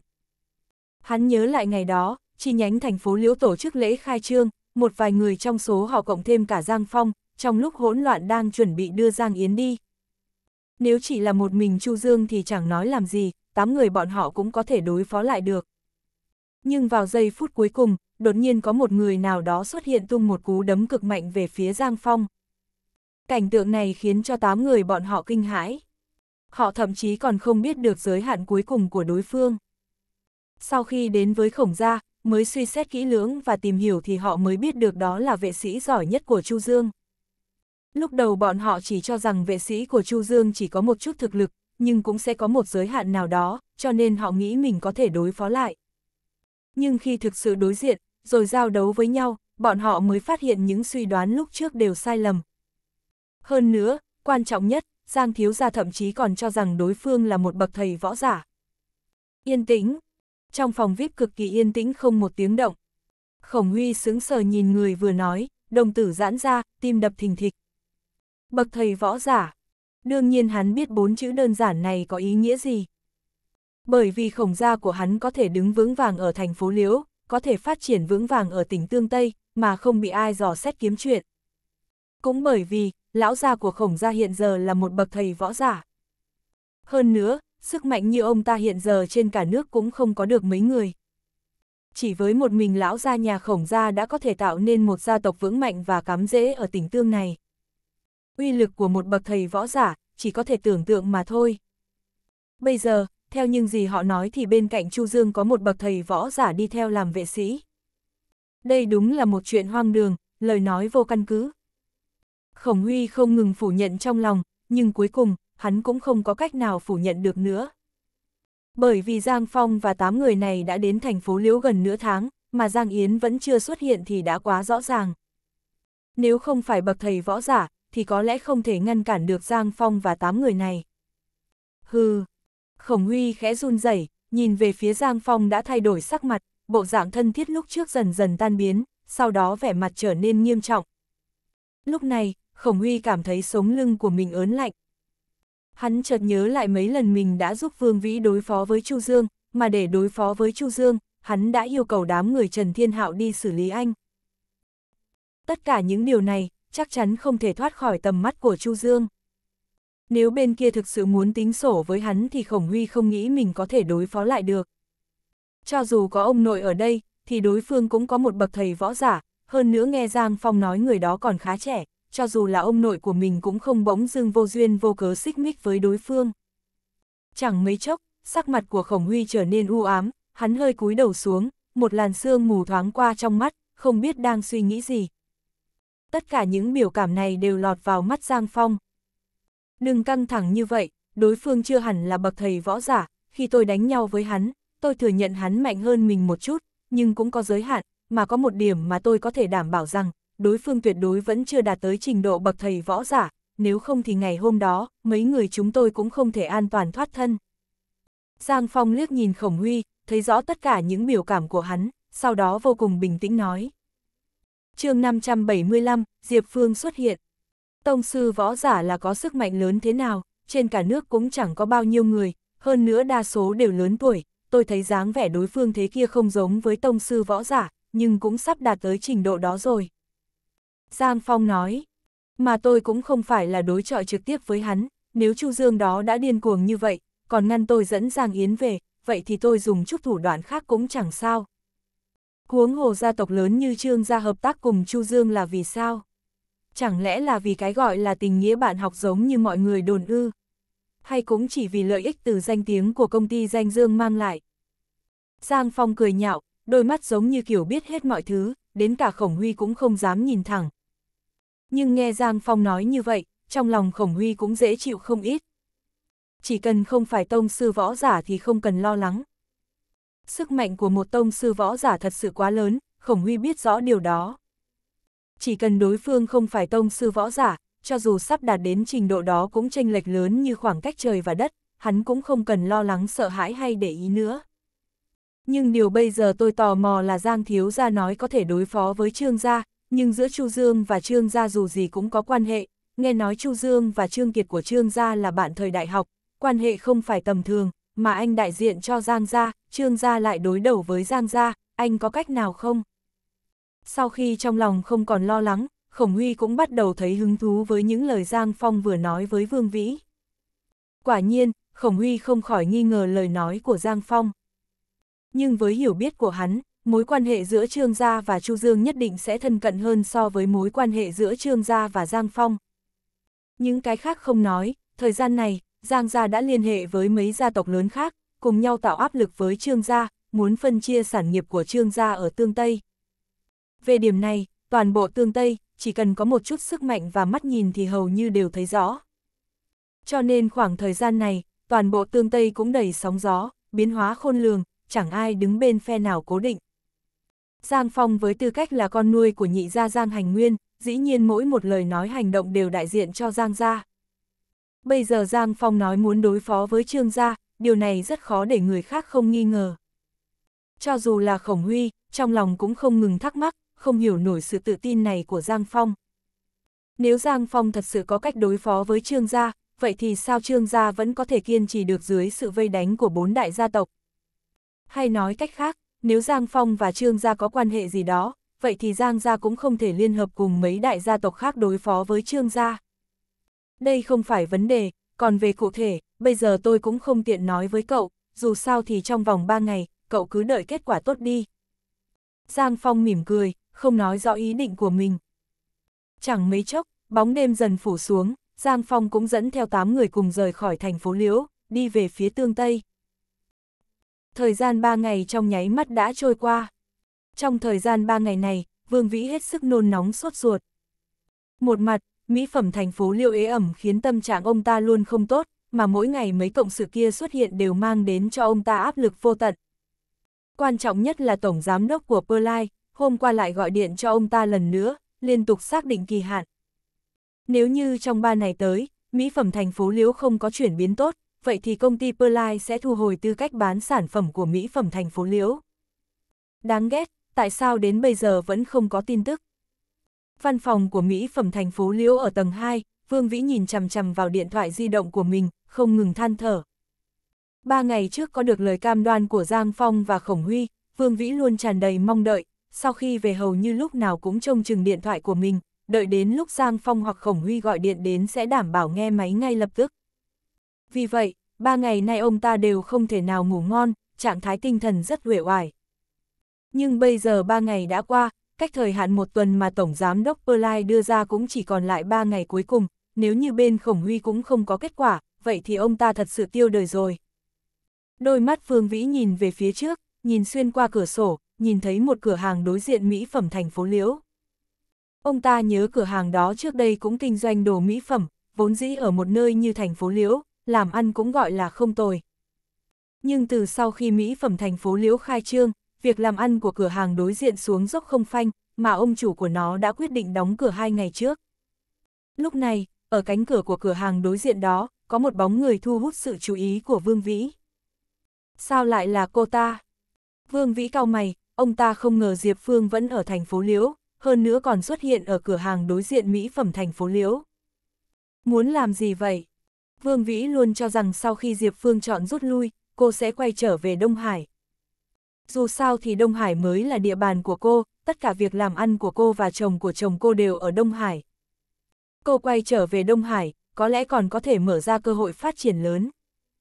Nhưng Vương Vĩ không thể ngờ, Diệp Phương không chỉ không quay về Đông Hải, ngược lại còn lần nữa xuất hiện trước mặt mình. Có gì đó không đúng, sao mí mắt phải cứ nhấp nháy liên tục thế nhỉ? Vương Vĩ đưa tay lên ấn vào mí mắt phải đang liên tục nhấp nháy, trong lòng không khỏi hoảng hốt. Nhưng ông ta không hề chú ý đến Diệp Phương, chỉ cho rằng mấy ngày nay bản thân đã lo nghĩ thái quá. Chỉ cần bên khổng huy truyền đến tin tức xác thực, ông ta sẽ trở lại mạnh khỏe như lúc đầu. Chấm. Lúc này, ở cửa hàng đối diện Mỹ phẩm thành phố Liễu. Diệp Phương đánh giá tình hình xung quanh cửa hàng. Ngoài việc đối diện có một cửa hàng Mỹ phẩm thành phố Liễu, thì xung quanh không có bất kỳ cửa hàng bán đồ Mỹ phẩm nào nữa, hơn nữa dường như cũng không có bất cứ cửa hàng nào liên quan đến đồ trang điểm, đa số đều là vài cửa hàng bán quần áo. Mà diện tích của cửa hàng này cũng lớn khoảng bằng Mỹ phẩm thành phố Liễu. Dù sao trước khi Mỹ phẩm thành phố Liễu khai trương thì đây cũng là cửa hàng Mỹ phẩm lớn nhất trên phố đi bộ thành phố Liễu, mỗi ngày đều làm ăn vô cùng tốt. Diệp Tổng, cô xem xem, diện tích cửa hàng này rất lớn, đủ để cô triển khai rồi, hơn nữa một số thiết bị cũng hoàn chỉnh, chỉ cần cô đồng ý ký hợp đồng, những thiết bị này tôi tặng hết cho cô. Bên cạnh Diệp Phương, một người đàn ông trung niên mập mạp đang cười nói. Người đàn ông trung niên tên là Lý Minh Phúc, cũng là một nhân vật có máu mặt ở thành phố Liễu. Bởi vì ra làm ăn ở đây, tiếp xúc với rất nhiều kiến thức liên quan đến mỹ phẩm, mở một cửa hàng mỹ phẩm như vậy ở quê hương thành phố Liễu, phát triển mười mấy năm, cũng coi như có quy mô tốt, mỗi năm có thể mang đến lợi nhuận lớn cho ông ta.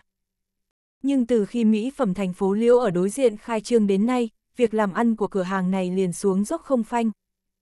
Trong một ngày, thậm chí có lúc đến tiền vốn cũng không thu hồi lại được. Lý Minh Phúc bất đắc dĩ, chỉ đành chọn chấm dứt việc làm ăn của mình. Thanh lý nhanh gọn cửa hàng, yên tâm kinh doanh những cửa hàng ở thành phố khác mới là quan trọng nhất. chương 576, mua cửa hàng mới. Cửa hàng này của ông ta trước kia luôn kinh doanh mỹ phẩm, kết cấu bên trong đều phù hợp với cửa hàng bán mỹ phẩm, người bình thường vừa nhìn cũng sẽ không muốn mua lại để cải tạo. Vì vậy, trong thời gian mấy ngày nay, ông ta đã tìm mấy người bạn muốn xử lý xong cửa hàng này. Nhưng không ngoại lệ, chẳng ai muốn tiếp nhận cả. Dù sao thì việc làm ăn của Mỹ phẩm thành phố Liễu đối diện hừng hực khí thế, mà cửa hàng này của ông ta, nếu không phải là kinh doanh mỹ phẩm thì sẽ cần tiêu một số tiền lớn để tiến hành cải tạo cửa hàng. Giá thành rất lớn. Còn nếu kinh doanh mỹ phẩm, nhất định sẽ không thể cạnh tranh nổi với mỹ phẩm thành phố Liễu ở đối diện. Vì vậy mấy ngày nay chẳng có ai hỏi thăm. Có điều, ngày hôm qua, một cuộc điện thoại đã mang đến hy vọng bất ngờ cho Lý Minh Phúc. Nhìn người phụ nữ xinh đẹp trước mắt này, cổ họng Lý Minh Phúc hơi khô rát, sau khi lén nuốt từng ngụm nước bọt mới nở nụ cười tiếp đón. Diệp Tổng, hôm qua cô nói muốn mở một cửa hàng bán mỹ phẩm ở đây, có điều này tôi phải nhắc nhở cô, việc làm ăn của mỹ phẩm thành phố Liễu ở đối diện rất tốt, danh tiếng cũng có một không hai, tôi nói với cô trước rồi đó, đừng để đến lúc đó lại trách tôi không trượng nghĩa. Lý Minh Phúc kín đáo chỉ về phía mỹ phẩm thành phố Liễu ở phía đối diện. Nói thật, vốn dĩ ông ta cũng không muốn nói rõ chuyện này như vậy. Dù sao chỉ cần điểm này thôi, người hiểu được sẽ không chọn tiếp nhận cửa hàng của ông ta. Chỉ cần ông ta đánh lừa một chút, nói không chừng đối phương còn thật sự ngu ngốc mà tiếp nhận. Có điều, khi nhìn thấy Diệp Phương, Lý Minh Phúc lại dằn xuống đáy lòng thật sâu ý nghĩ này. Lý Minh Phúc tung hoành trên thương trường chưa đến vài chục năm, nhưng ít nhất cũng đã lăn lộn mười mấy năm. Tuy không có mắt nhìn sâu rộng nhưng mắt cũng không phải mù. Người phụ nữ như Diệp Phương, thế lực sau lưng tuyệt đối không đơn giản. Hơn nữa, với tình huống rõ ràng như vậy, đối phương vẫn cố ý liên hệ với mình, muốn mua lại cửa hàng này, chứng tỏ cô ấy vốn không thèm để ý đến sự tồn tại của mỹ phẩm thành phố Liễu.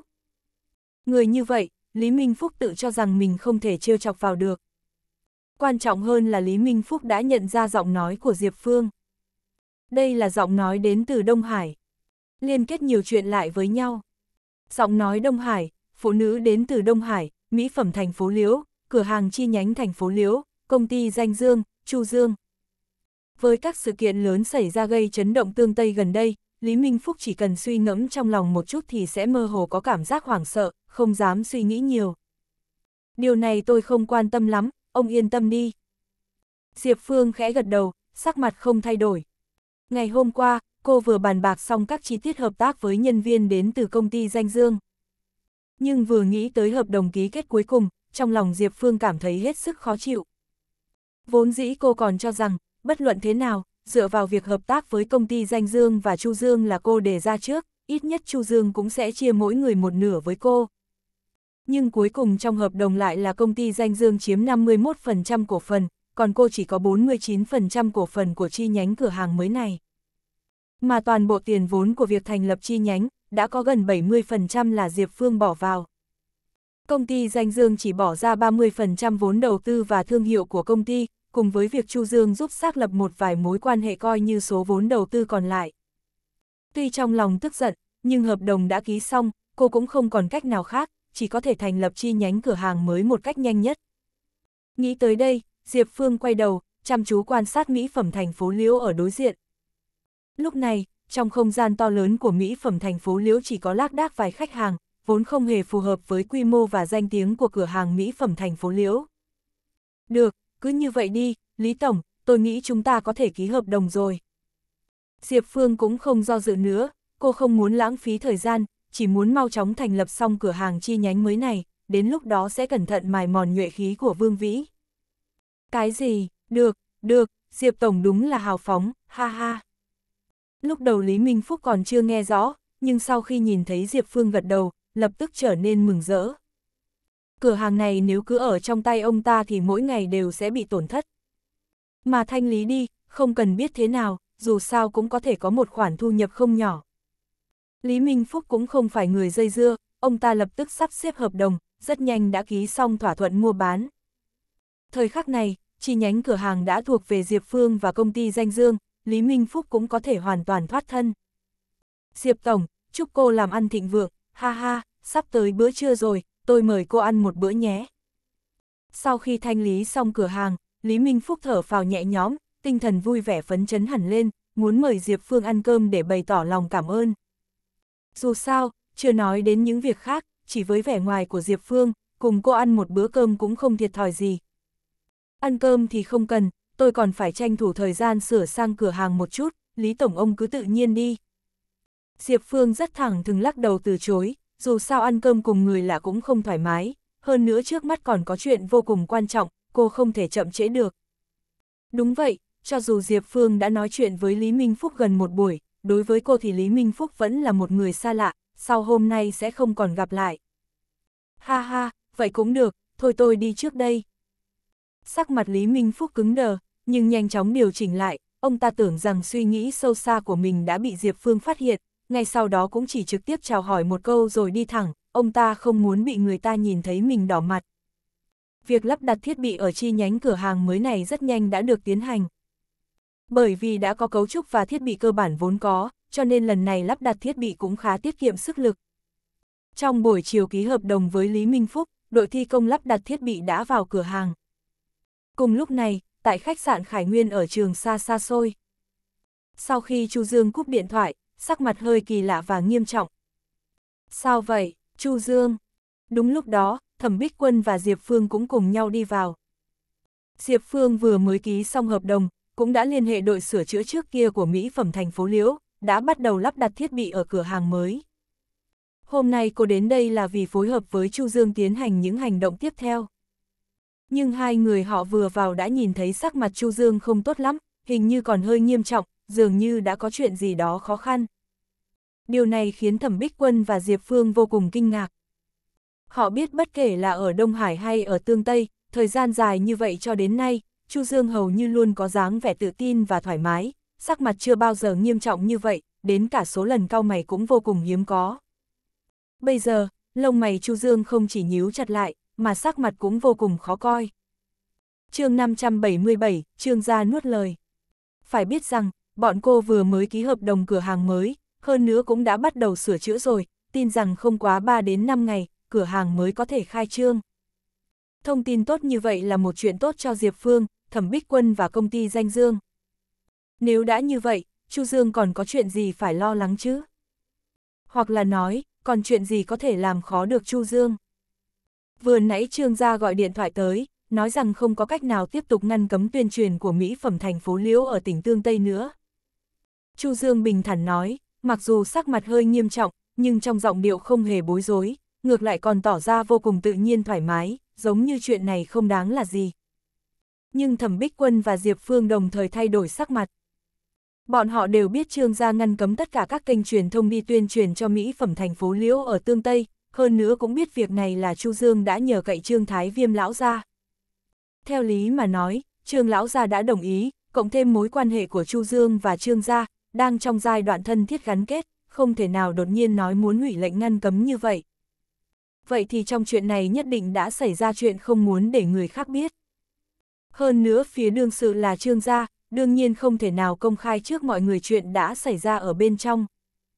Trương gia có nói là tại sao không? Theo lý mà nói, Trương gia không thể làm như vậy, đây dẫu sao cũng là chuyện mà Trương lão gia đã đích thân đồng ý. Khuôn mặt thẩm bích quân khá nghiêm túc, lông mày khẽ cao lại, trầm giọng nói. Đúng thế, chủ tổng, nếu như Trương gia không thể ngăn cấm việc tuyển truyền của Mỹ phẩm thành phố Liễu ở tương Tây, vậy vương vĩ kia nhất định sẽ càng hung hăng càng quấy hơn. Diệp Phương cũng lạnh lùng nói. Bây giờ gần như tất cả đều đã chuẩn bị xong, lại đột nhiên xảy ra chuyện này, đổi lại là ai, e rằng nhất thời đều không thể chấp nhận được. Điện thoại là Trương Anh gọi tới, nói đây là ý của Trương Lão gia, ha ha. Chu Dương khẽ cười hai tiếng, không nói quá nhiều, nhưng hai tiếng cười của anh đã biểu lộ rõ thái độ. Trương gia làm như vậy, rõ ràng là không coi Chu Dương ra gì. Chưa nói đến việc gần đây Tôn Việt đưa theo một nhóm người trong ngành truyền thông từ Đông Hải tới, đang hợp tác với Trương gia, chỉ nói tới Trương Thái Viêm lão gia làm trái lại lời nói đã là một chuyện vô cùng hoang đường. Đối với một gia tộc lớn như Trương gia mà nói, lời hứa mãi là thể diện lớn nhất của gia tộc. Hơn nữa, đây còn là lời hứa do Trương Thái Viêm lão gia đích thân nói ra, bây giờ mới được vài ngày, liền ngang nhiên nuốt lời, điều này chính là bất chấp không quan tâm đến thể diện của Chu Dương. Trong lòng của Chu Dương bây giờ đang nghi hoặc, rốt cuộc đã xảy ra chuyện gì, khiến cho Trương Thái Viêm lão gia và Trương gia đưa ra lựa chọn như vậy. Chu Dương không cho rằng Vương Vĩ có năng lực thay đổi lời hứa của Trương lão gia như vậy, thậm chí còn khiến cho Trương gia ngang nhiên hủy bỏ lời hứa của mình. Lẽ nào là Khổng Huy? Đôi mắt Chu Dương khẽ nheo lại, anh đang nghĩ tới Khổng Huy. Khổng Huy và Khổng gia. Mấy ngày nay Chu Dương không hề nhàn rỗi, ngược lại còn điều tra được không ít chuyện liên quan đến Khổng gia và Khổng Huy, hơn nữa kết quả điều tra, quả thực khiến anh cảm thấy vô cùng bất ngờ. Anh luôn cho rằng, Khổng Huy chẳng qua chỉ là một thiếu gia của Khổng gia, cho dù ở Khổng gia có địa vị hơn người, nhưng ở tỉnh Tương Tây này cũng không là gì cả. Còn Khổng gia là một gia tộc luôn ẩn mình ở thành phố Liễu, không phải là một gia tộc có danh tiếng ở tỉnh Tương Tây, nói chung là không quá lợi hại. Nhưng kết quả điều tra cuối cùng lại khiến cho Chu Dương vô cùng bất ngờ. Ở Tương Tây, khổng gia không hề thua kém năm gia tộc lớn kia. Thậm chí, có rất nhiều lúc năm gia tộc lớn cũng không dám đắc tội với khổng gia. Từ tin tức có được ở chỗ Chu Thiều Hoa, trong khổng gia còn có một tông sư võ giả. Đây là điều khiến Chu Dương thấy bất ngờ và sửng sốt nhất. Tông sư võ giả. Đã rất lâu rồi, Chu Dương mới nghe nhắc lại cụm từ này. Trước kia anh từng thảo luận về sự lợi hại của tông sư võ giả với Ngưu Xuyên, anh từng hỏi Ngưu Xuyên, cậu ấy có phải tông sư võ giả không? Nhưng Ngưu Xuyên nói cậu ấy chỉ mới bước vào cảnh giới của tông sư võ giả, so với người bình thường, đương nhiên không có đối thủ, tuy nhiên đứng trước một tông sư khác, hiển nhiên vẫn yếu hơn vài phần. Dù sao, Ngưu Xuyên vẫn chưa ổn định cảnh giới thực lực của mình, đối với một người chưa đạt đến cảnh giới tông sư võ giả đương nhiên có thể thoải mái nhẹ nhàng, nhưng nếu đối đầu với một tông sư võ giả thật sự thì chắc chắn sẽ khó khăn, thậm chí chỉ cần một sơ suất, sẽ bại trận. Sau khi biết được khổng gia có một tông sư võ giả chấn thủ, Chu Dương bình tĩnh lại, suy nghĩ rất nhiều. Khổng gia có tông sư võ giả nên chắc chắn địa vị sẽ không tầm thường, mà khổng huy là đại thiếu gia đời thứ ba của khổng gia do đó địa vị của hắn cũng sẽ hơn người khác mấy bậc. Nếu khổng huy lợi dụng danh tiếng của khổng gia giúp đỡ cho vương vĩ, vậy thì thuyết phục trương gia, thậm chí khiến trương gia hủy bỏ lời hứa cũng rất có khả năng. Nghĩ thông suốt điều này, trong lòng Chu Dương cảm thấy khá hơn nhiều. Chỉ ít thì cũng không phải là trương gia thật sự coi thường anh, không quan tâm đến thể diện của anh. Nhưng tuy là vậy, Chu Dương vẫn cảm thấy vô cùng khó chịu với hành động hủy bỏ lời hứa này của trương gia. Chu Dương cho rằng bản thân là người vô cùng đơn giản. Ai làm mình không vui, anh cũng sẽ làm người đó không thoải mái. Hiện giờ mặc dù trương gia có thể có điều gì đó khó nói, nhưng họ đã khiến anh không vui, vậy thì Chu Dương quyết định sẽ khiến cho trương gia khó chịu một chút. Được rồi, trương gia đã không bằng lòng tiếp tục ngăn cấm tuyên truyền cho mỹ phẩm thành phố Liễu, vậy thì cứ thuận theo tự nhiên đi, cô Diệp vẫn nên tập trung vào cửa hàng mới trước, tôi hy vọng trong một tuần, cửa hàng mới có thể khai trương thành công. Chu Dương khẽ cười nói. Nghe thấy Chu Dương nói như vậy, thẩm bích quân vẫn muốn nói gì đó, nhưng chỉ hé miệng mà không nói tiếp. Mặc dù trong lòng có rất nhiều nghi hoặc, song thẩm bích quân biết, Chu Dương là một người có cách làm riêng, nếu như anh đã nói như vậy thì bây giờ sẽ tạm thời chưa tính toán với Trương gia. Diệp Phương không biết làm sao chỉ có thể đồng ý. Mỹ phẩm thành phố Liễu, văn phòng tầng 2.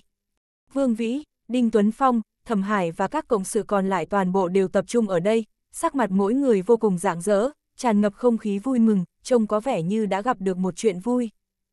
Ha ha, thế nào, kể cả là trương gia muốn ngăn cấm chúng ta cũng không được, bây giờ không phải là bọn họ vẫn phải thu tay về hay sao? Vương Vĩ cười lớn, viên đá trong lòng cuối cùng cũng đã rơi xuống. Vừa rồi ông ta nhận được điện thoại của Khổng Huy, nói phía trương gia sẽ không ngăn cấm việc tuyên truyền cho Mỹ phẩm thành phố Liễu nữa. Lúc đầu Vương Vĩ còn nghi ngờ, nhưng vừa nãy khi ông ta mở máy tính lên kiểm tra, lập tức vô cùng kinh ngạc. Toàn bộ thực sự đều đã được khôi phục, tuyên truyền ban đầu mà bọn họ đưa lên một số kênh truyền thông của tương Tây tất cả đều trở về trạng thái tuyên truyền như trước. Trong sự vui mừng, Vương Vĩ cũng nhanh chóng thông báo cho Đinh Tuấn Phong và các cộng sự khác. Sự việc lớn như thế, đương nhiên không thể chỉ một mình ông ta biết, ít nhất cũng phải để cho các cộng sự cùng hợp tác biết tin, để bọn họ biết, đi theo ông ta, không hề sai lầm, mà ngược lại là một cơ hội. chương 578, Vương Vĩ đắc ý. Vẫn là Vương Tổng lợi hại, ngay đến cả trương gia cũng có thể tùy ý giải quyết.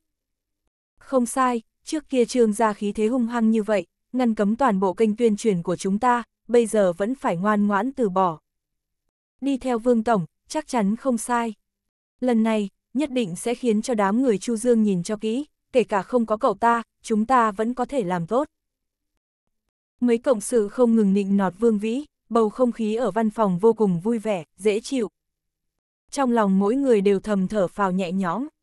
Dẫu sao, những đòn đánh của Chu Dương trước kia, trong nháy mắt đã đánh cho bọn họ cảm thấy quay cuồng, thậm chí còn nghi ngờ bản thân sẽ không chống đỡ nổi. Nhưng bây giờ thì tốt rồi, trương gia sẽ không ra tay với bọn họ nữa, cho dù không còn kênh tuyên truyền của giới giải trí thì bọn họ vẫn có thể dùng kênh tuyên truyền ở địa phương. Đúng rồi, Vương Tổng, cửa hàng mỹ phẩm đối diện đang sửa sang, sắp khai trương lại rồi sao? Lúc này, ánh mắt của Thẩm Hải rơi vào cửa hàng phía đối diện, nhìn thấy công nhân sửa chữa ra ra vào vào, hơn nữa trong nháy mắt hắn cũng đã nhận ra những công nhân sửa chữa này cũng chính là công nhân trước kia từng sửa sang cho cửa hàng mỹ phẩm thành phố Liễu. Theo lời nói của Thẩm Hải, ánh mắt của những người kia cũng nhìn qua đó. Này, những người kia không phải là những người trước đây giúp cửa hàng của chúng ta sửa sang lại sao? Đúng thế, thực sự là bọn họ. Sao thế, trước đấy còn nghe nói chủ cửa hàng đó chuẩn bị chuyển nhượng, bây giờ tìm được người mua rồi sao? Không phải chứ, kết cấu bên trong của cửa hàng đó rất đặc biệt, dường như chỉ thích hợp với kinh doanh hàng mỹ phẩm. Đúng thế, lúc đầu chúng tôi nghĩ, mua lại cửa hàng đó chính là vì tiết kiệm chi phí cải tạo sửa sang. Bây giờ có chúng ta ở đây, lại có người tiếp nhận cửa hàng này, đúng là không biết tự lượng sức mình, cái người mua lại đó, căn bản là không biết sự hùng mạnh của mỹ phẩm thành phố liễu chúng ta.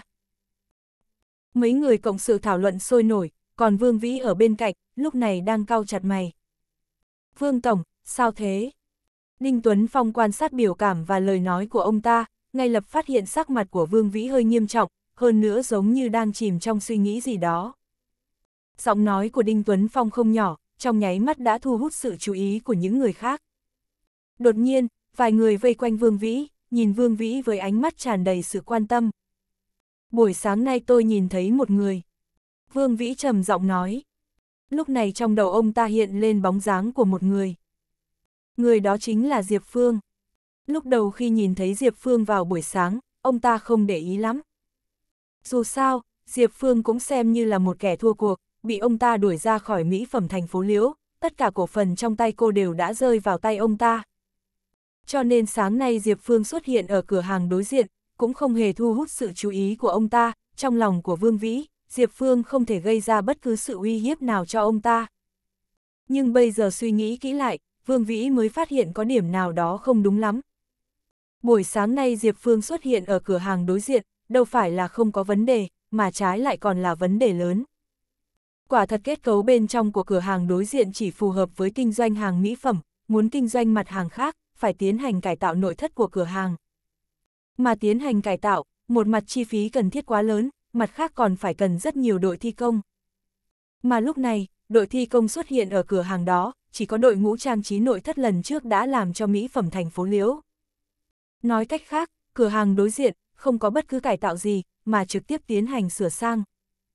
Cửa hàng đối diện vẫn sẽ kinh doanh sản phẩm mỹ phẩm. Khi liên tưởng tới buổi sáng Diệp Phương xuất hiện ở đó, nhất thời chán của Vương Vĩ đổ mồ hôi lạnh.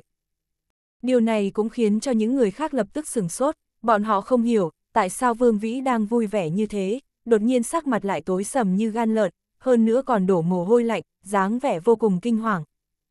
Bọn họ vừa mới giành được quyền chủ động từ tay Chu Dương, Chu Dương cũng không còn cách nào tiến hành ngăn cấm các kênh tuyên truyền của bọn họ. Đây đáng ra là một chuyện tốt mới đúng. Vương Tổng, rốt cuộc làm sao thế, có phải đã xảy ra chuyện gì rồi không? Đúng thế, Vương Tổng, bây giờ mọi người đang trên cùng một con thuyền, bất kể ra sao, tốt xấu gì ông cũng nên nói với chúng tôi chứ. Vương Tổng, anh không sao chứ? Sắc mặt một số người lo lắng, sợ rằng Vương Vĩ gặp chuyện gì bất chắc.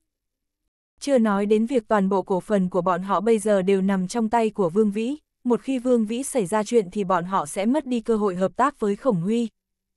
Như vậy, không có sự giúp đỡ của Khổng Huy, bọn họ căn bản không có năng lực và cách nào để cạnh tranh với Chu Dương. Sáng nay tôi nhìn thấy Diệp Phương, cô ta đến cửa hàng đối diện kia. Vương Vĩ thấp giọng nói, ông ta cảm thấy suy đoán của mình không sai.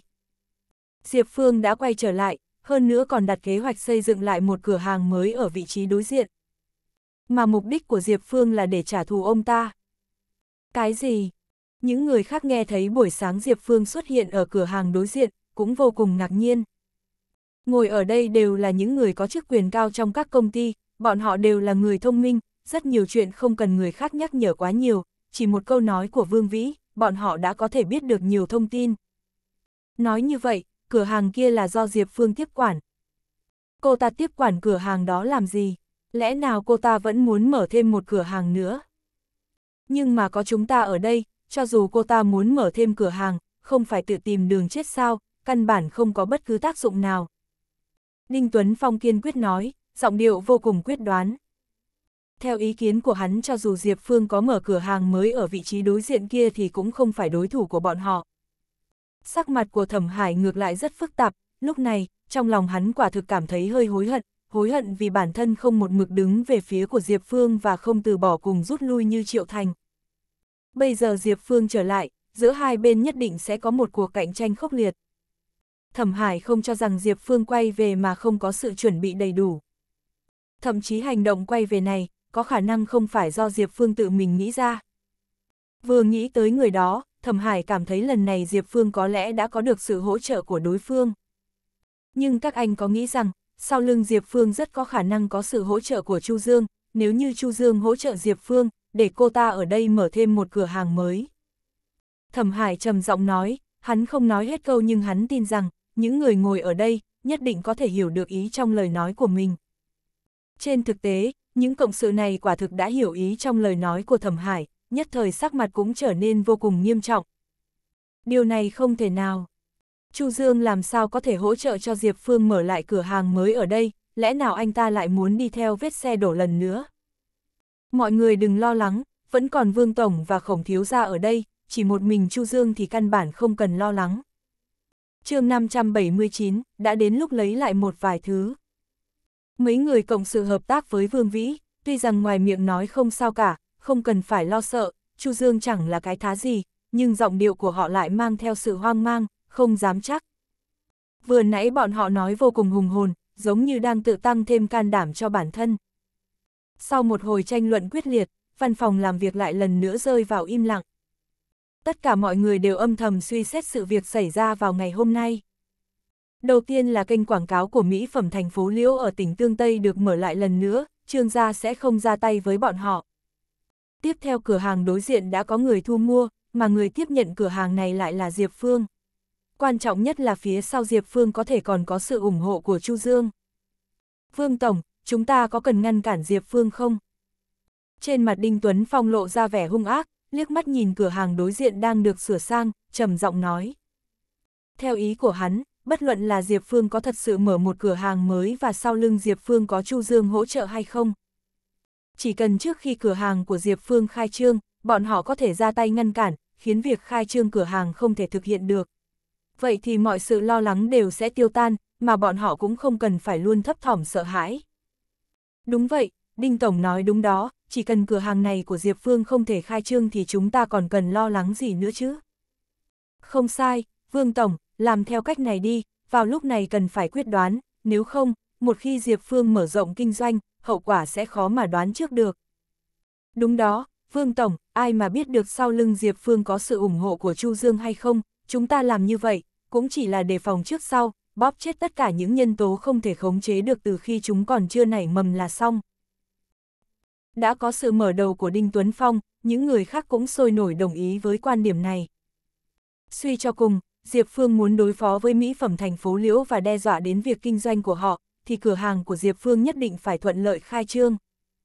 Còn nếu đối phương không thể khai trương cửa hàng như dự kiến, vậy thì tất cả đều là hư ảo, họ cũng không cần phải lo lắng nhiều như vậy. Cho nên, bây giờ tiến hành ngăn cản trước thực sự là một biện pháp vô cùng tốt. Mấy người cộng sự hợp tác, cho dù là thẩm hải thì lúc này đều mang vẻ mặt mong đợi nhìn chằm chằm vào Vương Vĩ. Họ đang chờ đợi Vương Vĩ đưa ra quyết định cuối cùng. Lúc này Vương Vĩ cũng đang trầm tư suy nghĩ. Quả thật ông ta thấy ý kiến của Đinh Tuấn Phong rất hợp lý, mà sự trở lại của Diệp Phương cũng khiến ông ta cảm thấy đang bị đe dọa. Cho dù bây giờ sự uy hiếp về mặt quảng cáo của Mỹ phẩm thành phố Liễu ở tỉnh Tương Tây đã không còn, cộng thêm việc Khổng Huy và Giang Phong đều bằng lòng giúp đỡ, nhưng cảm giác uy hiếp này vẫn còn tồn tại. Được, cô ta đã lựa chọn quay lại, vậy thì tôi sẽ khiến cô ta không còn chỗ đứng, tôi đi tìm khổng thiếu ra xin giúp đỡ, mọi người tự mình nghĩ thêm một vài biện pháp nữa đi. Lần này, tôi phải làm cho Diệp Phương dù có trở lại nhưng vẫn không thu hoạch được gì. Cuối cùng, Vương Vĩ đập bàn đưa ra quyết định, trên mặt ông ta lộ ra vẻ tàn nhẫn. Mọi việc hầu như không hề thay đổi. Mấy ngày tiếp theo, sau khi hoạt động xúc tiến tiêu dùng của Mỹ phẩm thành phố Liễu bước vào vòng quay mới, việc kinh doanh của cửa hàng cũng phát triển ngày càng tốt. Tuy rằng vẫn chưa đạt đến mức sôi động như buổi lễ khai trương lúc đầu, nhưng chỉ với việc cửa hàng nằm trên phố đi bộ thì việc kinh doanh cũng tốt đẹp không cửa hàng nào sánh kịp. Mỗi ngày bên trong cửa hàng phần lớn thời gian đều ở vào trạng thái đông khách. Điều này khiến những chủ cửa hàng xung quanh vô cùng hâm mộ và ghen tị. Việc sửa sang lại cửa hàng do Diệp Phương đứng ra làm chủ cũng đang dần được hoàn thiện, nhận thấy còn hai ngày nữa là mọi thứ sẽ hoàn thành, có thể chuẩn bị cho lễ khai trương của cửa hàng mới. Mà sau khi trương gia hủy bỏ lệnh ngăn cấm quảng cáo cho Mỹ phẩm thành phố Liễu, ngoại trừ lúc đầu có gọi một cuộc điện thoại cho Chu Dương thì sau đó không còn liên lạc gì với anh nữa, bọn họ không biểu đạt ý xin lỗi, cũng không có ý đền bù. Chu Dương không trách móc trương gia, càng không tìm đến tận nơi để yêu cầu họ phải giải thích rõ ràng. Chu Tổng, Thẩm Tổng, tình hình gần đây không ổn lắm. Trong khách sạn Khải Nguyên tại Trường Sa, Diệp Phương mang vẻ mặt nghiêm trọng, quan sát Chu Dương và Thẩm Bích Quân. Khoảng thời gian này, cô gần như mỗi ngày đều phải đến đây nói rõ một vài tình huống với Chu Dương và Thẩm Bích Quân. Diệp Phương vẫn luôn cho rằng Chu Dương sẽ phản đòn lại bất cứ lúc nào, nhưng mấy ngày tiếp theo, chẳng anh những không có bất cứ hành động gì, mà trái lại vẫn luôn chờ đợi ở trong khách sạn, ngay cả đại sảnh của khách sạn anh hầu như cũng không đặt chân xuống. Sao rồi? Chu Dương không nói gì, Thẩm Bích Quân mở lời trước. Mấy ngày gần đây, cửa hàng đã bị kiểm tra rất nhiều lần, mỗi một hàng mục đều bị kiểm tra, mà đối phương vẫn luôn kén cá chọn canh. Nếu không phải lúc đầu tôi đã dặn dò mọi người, tất cả đều phải nghiêm chỉnh chấp hành theo tiêu chuẩn, e rằng bây giờ cửa hàng đã bị lệnh cưỡng chế đình chỉ việc sửa chữa. Diệp Phương trầm giọng nói, cô kể lại tất cả những việc đã xảy ra trong mấy ngày qua. Tình huống trước mắt khiến Diệp Phương hết sức kinh ngạc, trong lòng cô cũng bắt đầu nghi hoặc. Gần đây, công việc sửa sang lại cửa hàng được tiến hành rất thuận lợi, nhìn thấy còn khoảng 2 ngày nữa là sắp kết thúc. Nhưng các hạng mục kiểm tra chính thức của thành phố Liễu lại liên tiếp xuất hiện. Ngoài kiểm tra những thứ như phòng cháy chữa cháy thông thường ra, thì việc kiểm tra về mặt hàng kinh doanh cũng đến không ngừng. Gần như mỗi ngày, cô với tư cách là đại diện pháp nhân của cửa hàng mới, đều phải tiếp đón nhiều đợt kiểm tra như vậy. Mà những nhân viên kiểm tra này, trong quá trình làm việc lại luôn kén cá chọn canh. Có điều, cũng may tật kén cá chọn canh này của họ, căn bản cũng không tính là tật xấu gì, thậm chí trong quá trình thẩm tra kiểm duyệt cũng không dở chứng. Nếu như không phải lúc đầu Diệp Phương vì để đề phòng có người ngấm ngầm dở trò, dặn dò đội sửa chữa tất cả phải thực hiện nghiêm chỉnh theo quy định thì có lẽ thật sự sẽ bị tra ra vài vấn đề. Nếu chỉ điều tra những vấn đề nhỏ thì chẳng sao nhưng những nhân viên này đã xem xét nhiều lần, mà mục tiêu rõ ràng là phải tìm ra được một vài vi phạm, điều này khiến Diệp Phương không thể không đề cao cảnh giác. Sau khi nghe xong tình hình Diệp Phương nói, vẻ mặt của thẩm bích quân cũng bắt đầu trở nên nghiêm trọng. Đây rõ ràng là có người đang nhắm vào Diệp Phương, nhắm vào cửa hàng mới. Nhất định là tên vương vĩ kia đã sai người dở trò quỷ quái rồi. Thẩm bích quân oán hận nói, bây giờ người mà cô có thể nghĩ đến cũng chỉ có đám người vương vĩ. Bởi vì chỉ có họ mới có động cơ làm như vậy.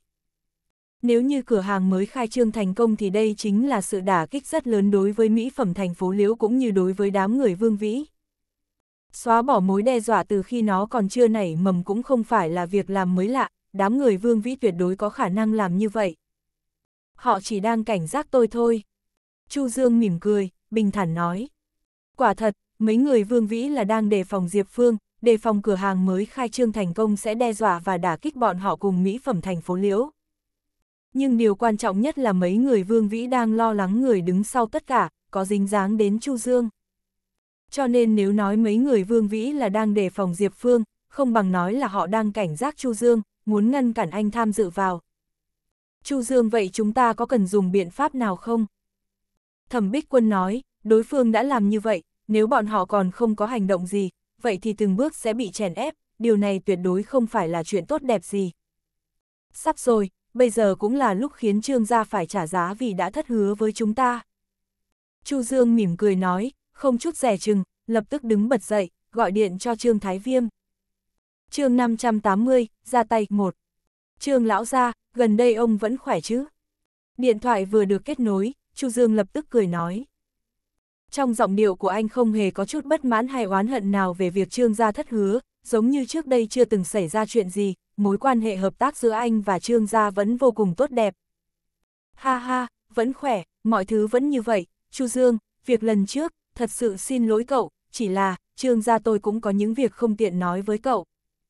Trương Thái Viêm vừa nghe thấy lời của Chu Dương, rõ ràng cũng hơi sừng sốt, nhưng ông ta nhanh chóng phản ứng lại, lập tức cười nói, muốn là người đầu tiên mở lời nhắc lại chuyện đó. Chỉ có như vậy, hai bên mới không tồn tại khoảng cách. Không cần nói nữa, tôi hiểu được quyết định của Trương Lão Gia, dù sao thì gia tộc lớn như Trương Gia, có rất nhiều chuyện mà tôi cũng không thể hiểu rõ được. Nhưng Trương Thái Viêm còn chưa nói xong, đã bị Chu Dương cắt lời. Lần này tôi gọi điện cho ông là muốn nhờ ông giúp đỡ một chuyện. Chu Dương bình thản nói, kể lại những chuyện mà cửa hàng mới đang gặp phải, nhờ Trương Lão ra giúp đỡ chuẩn bị một chút.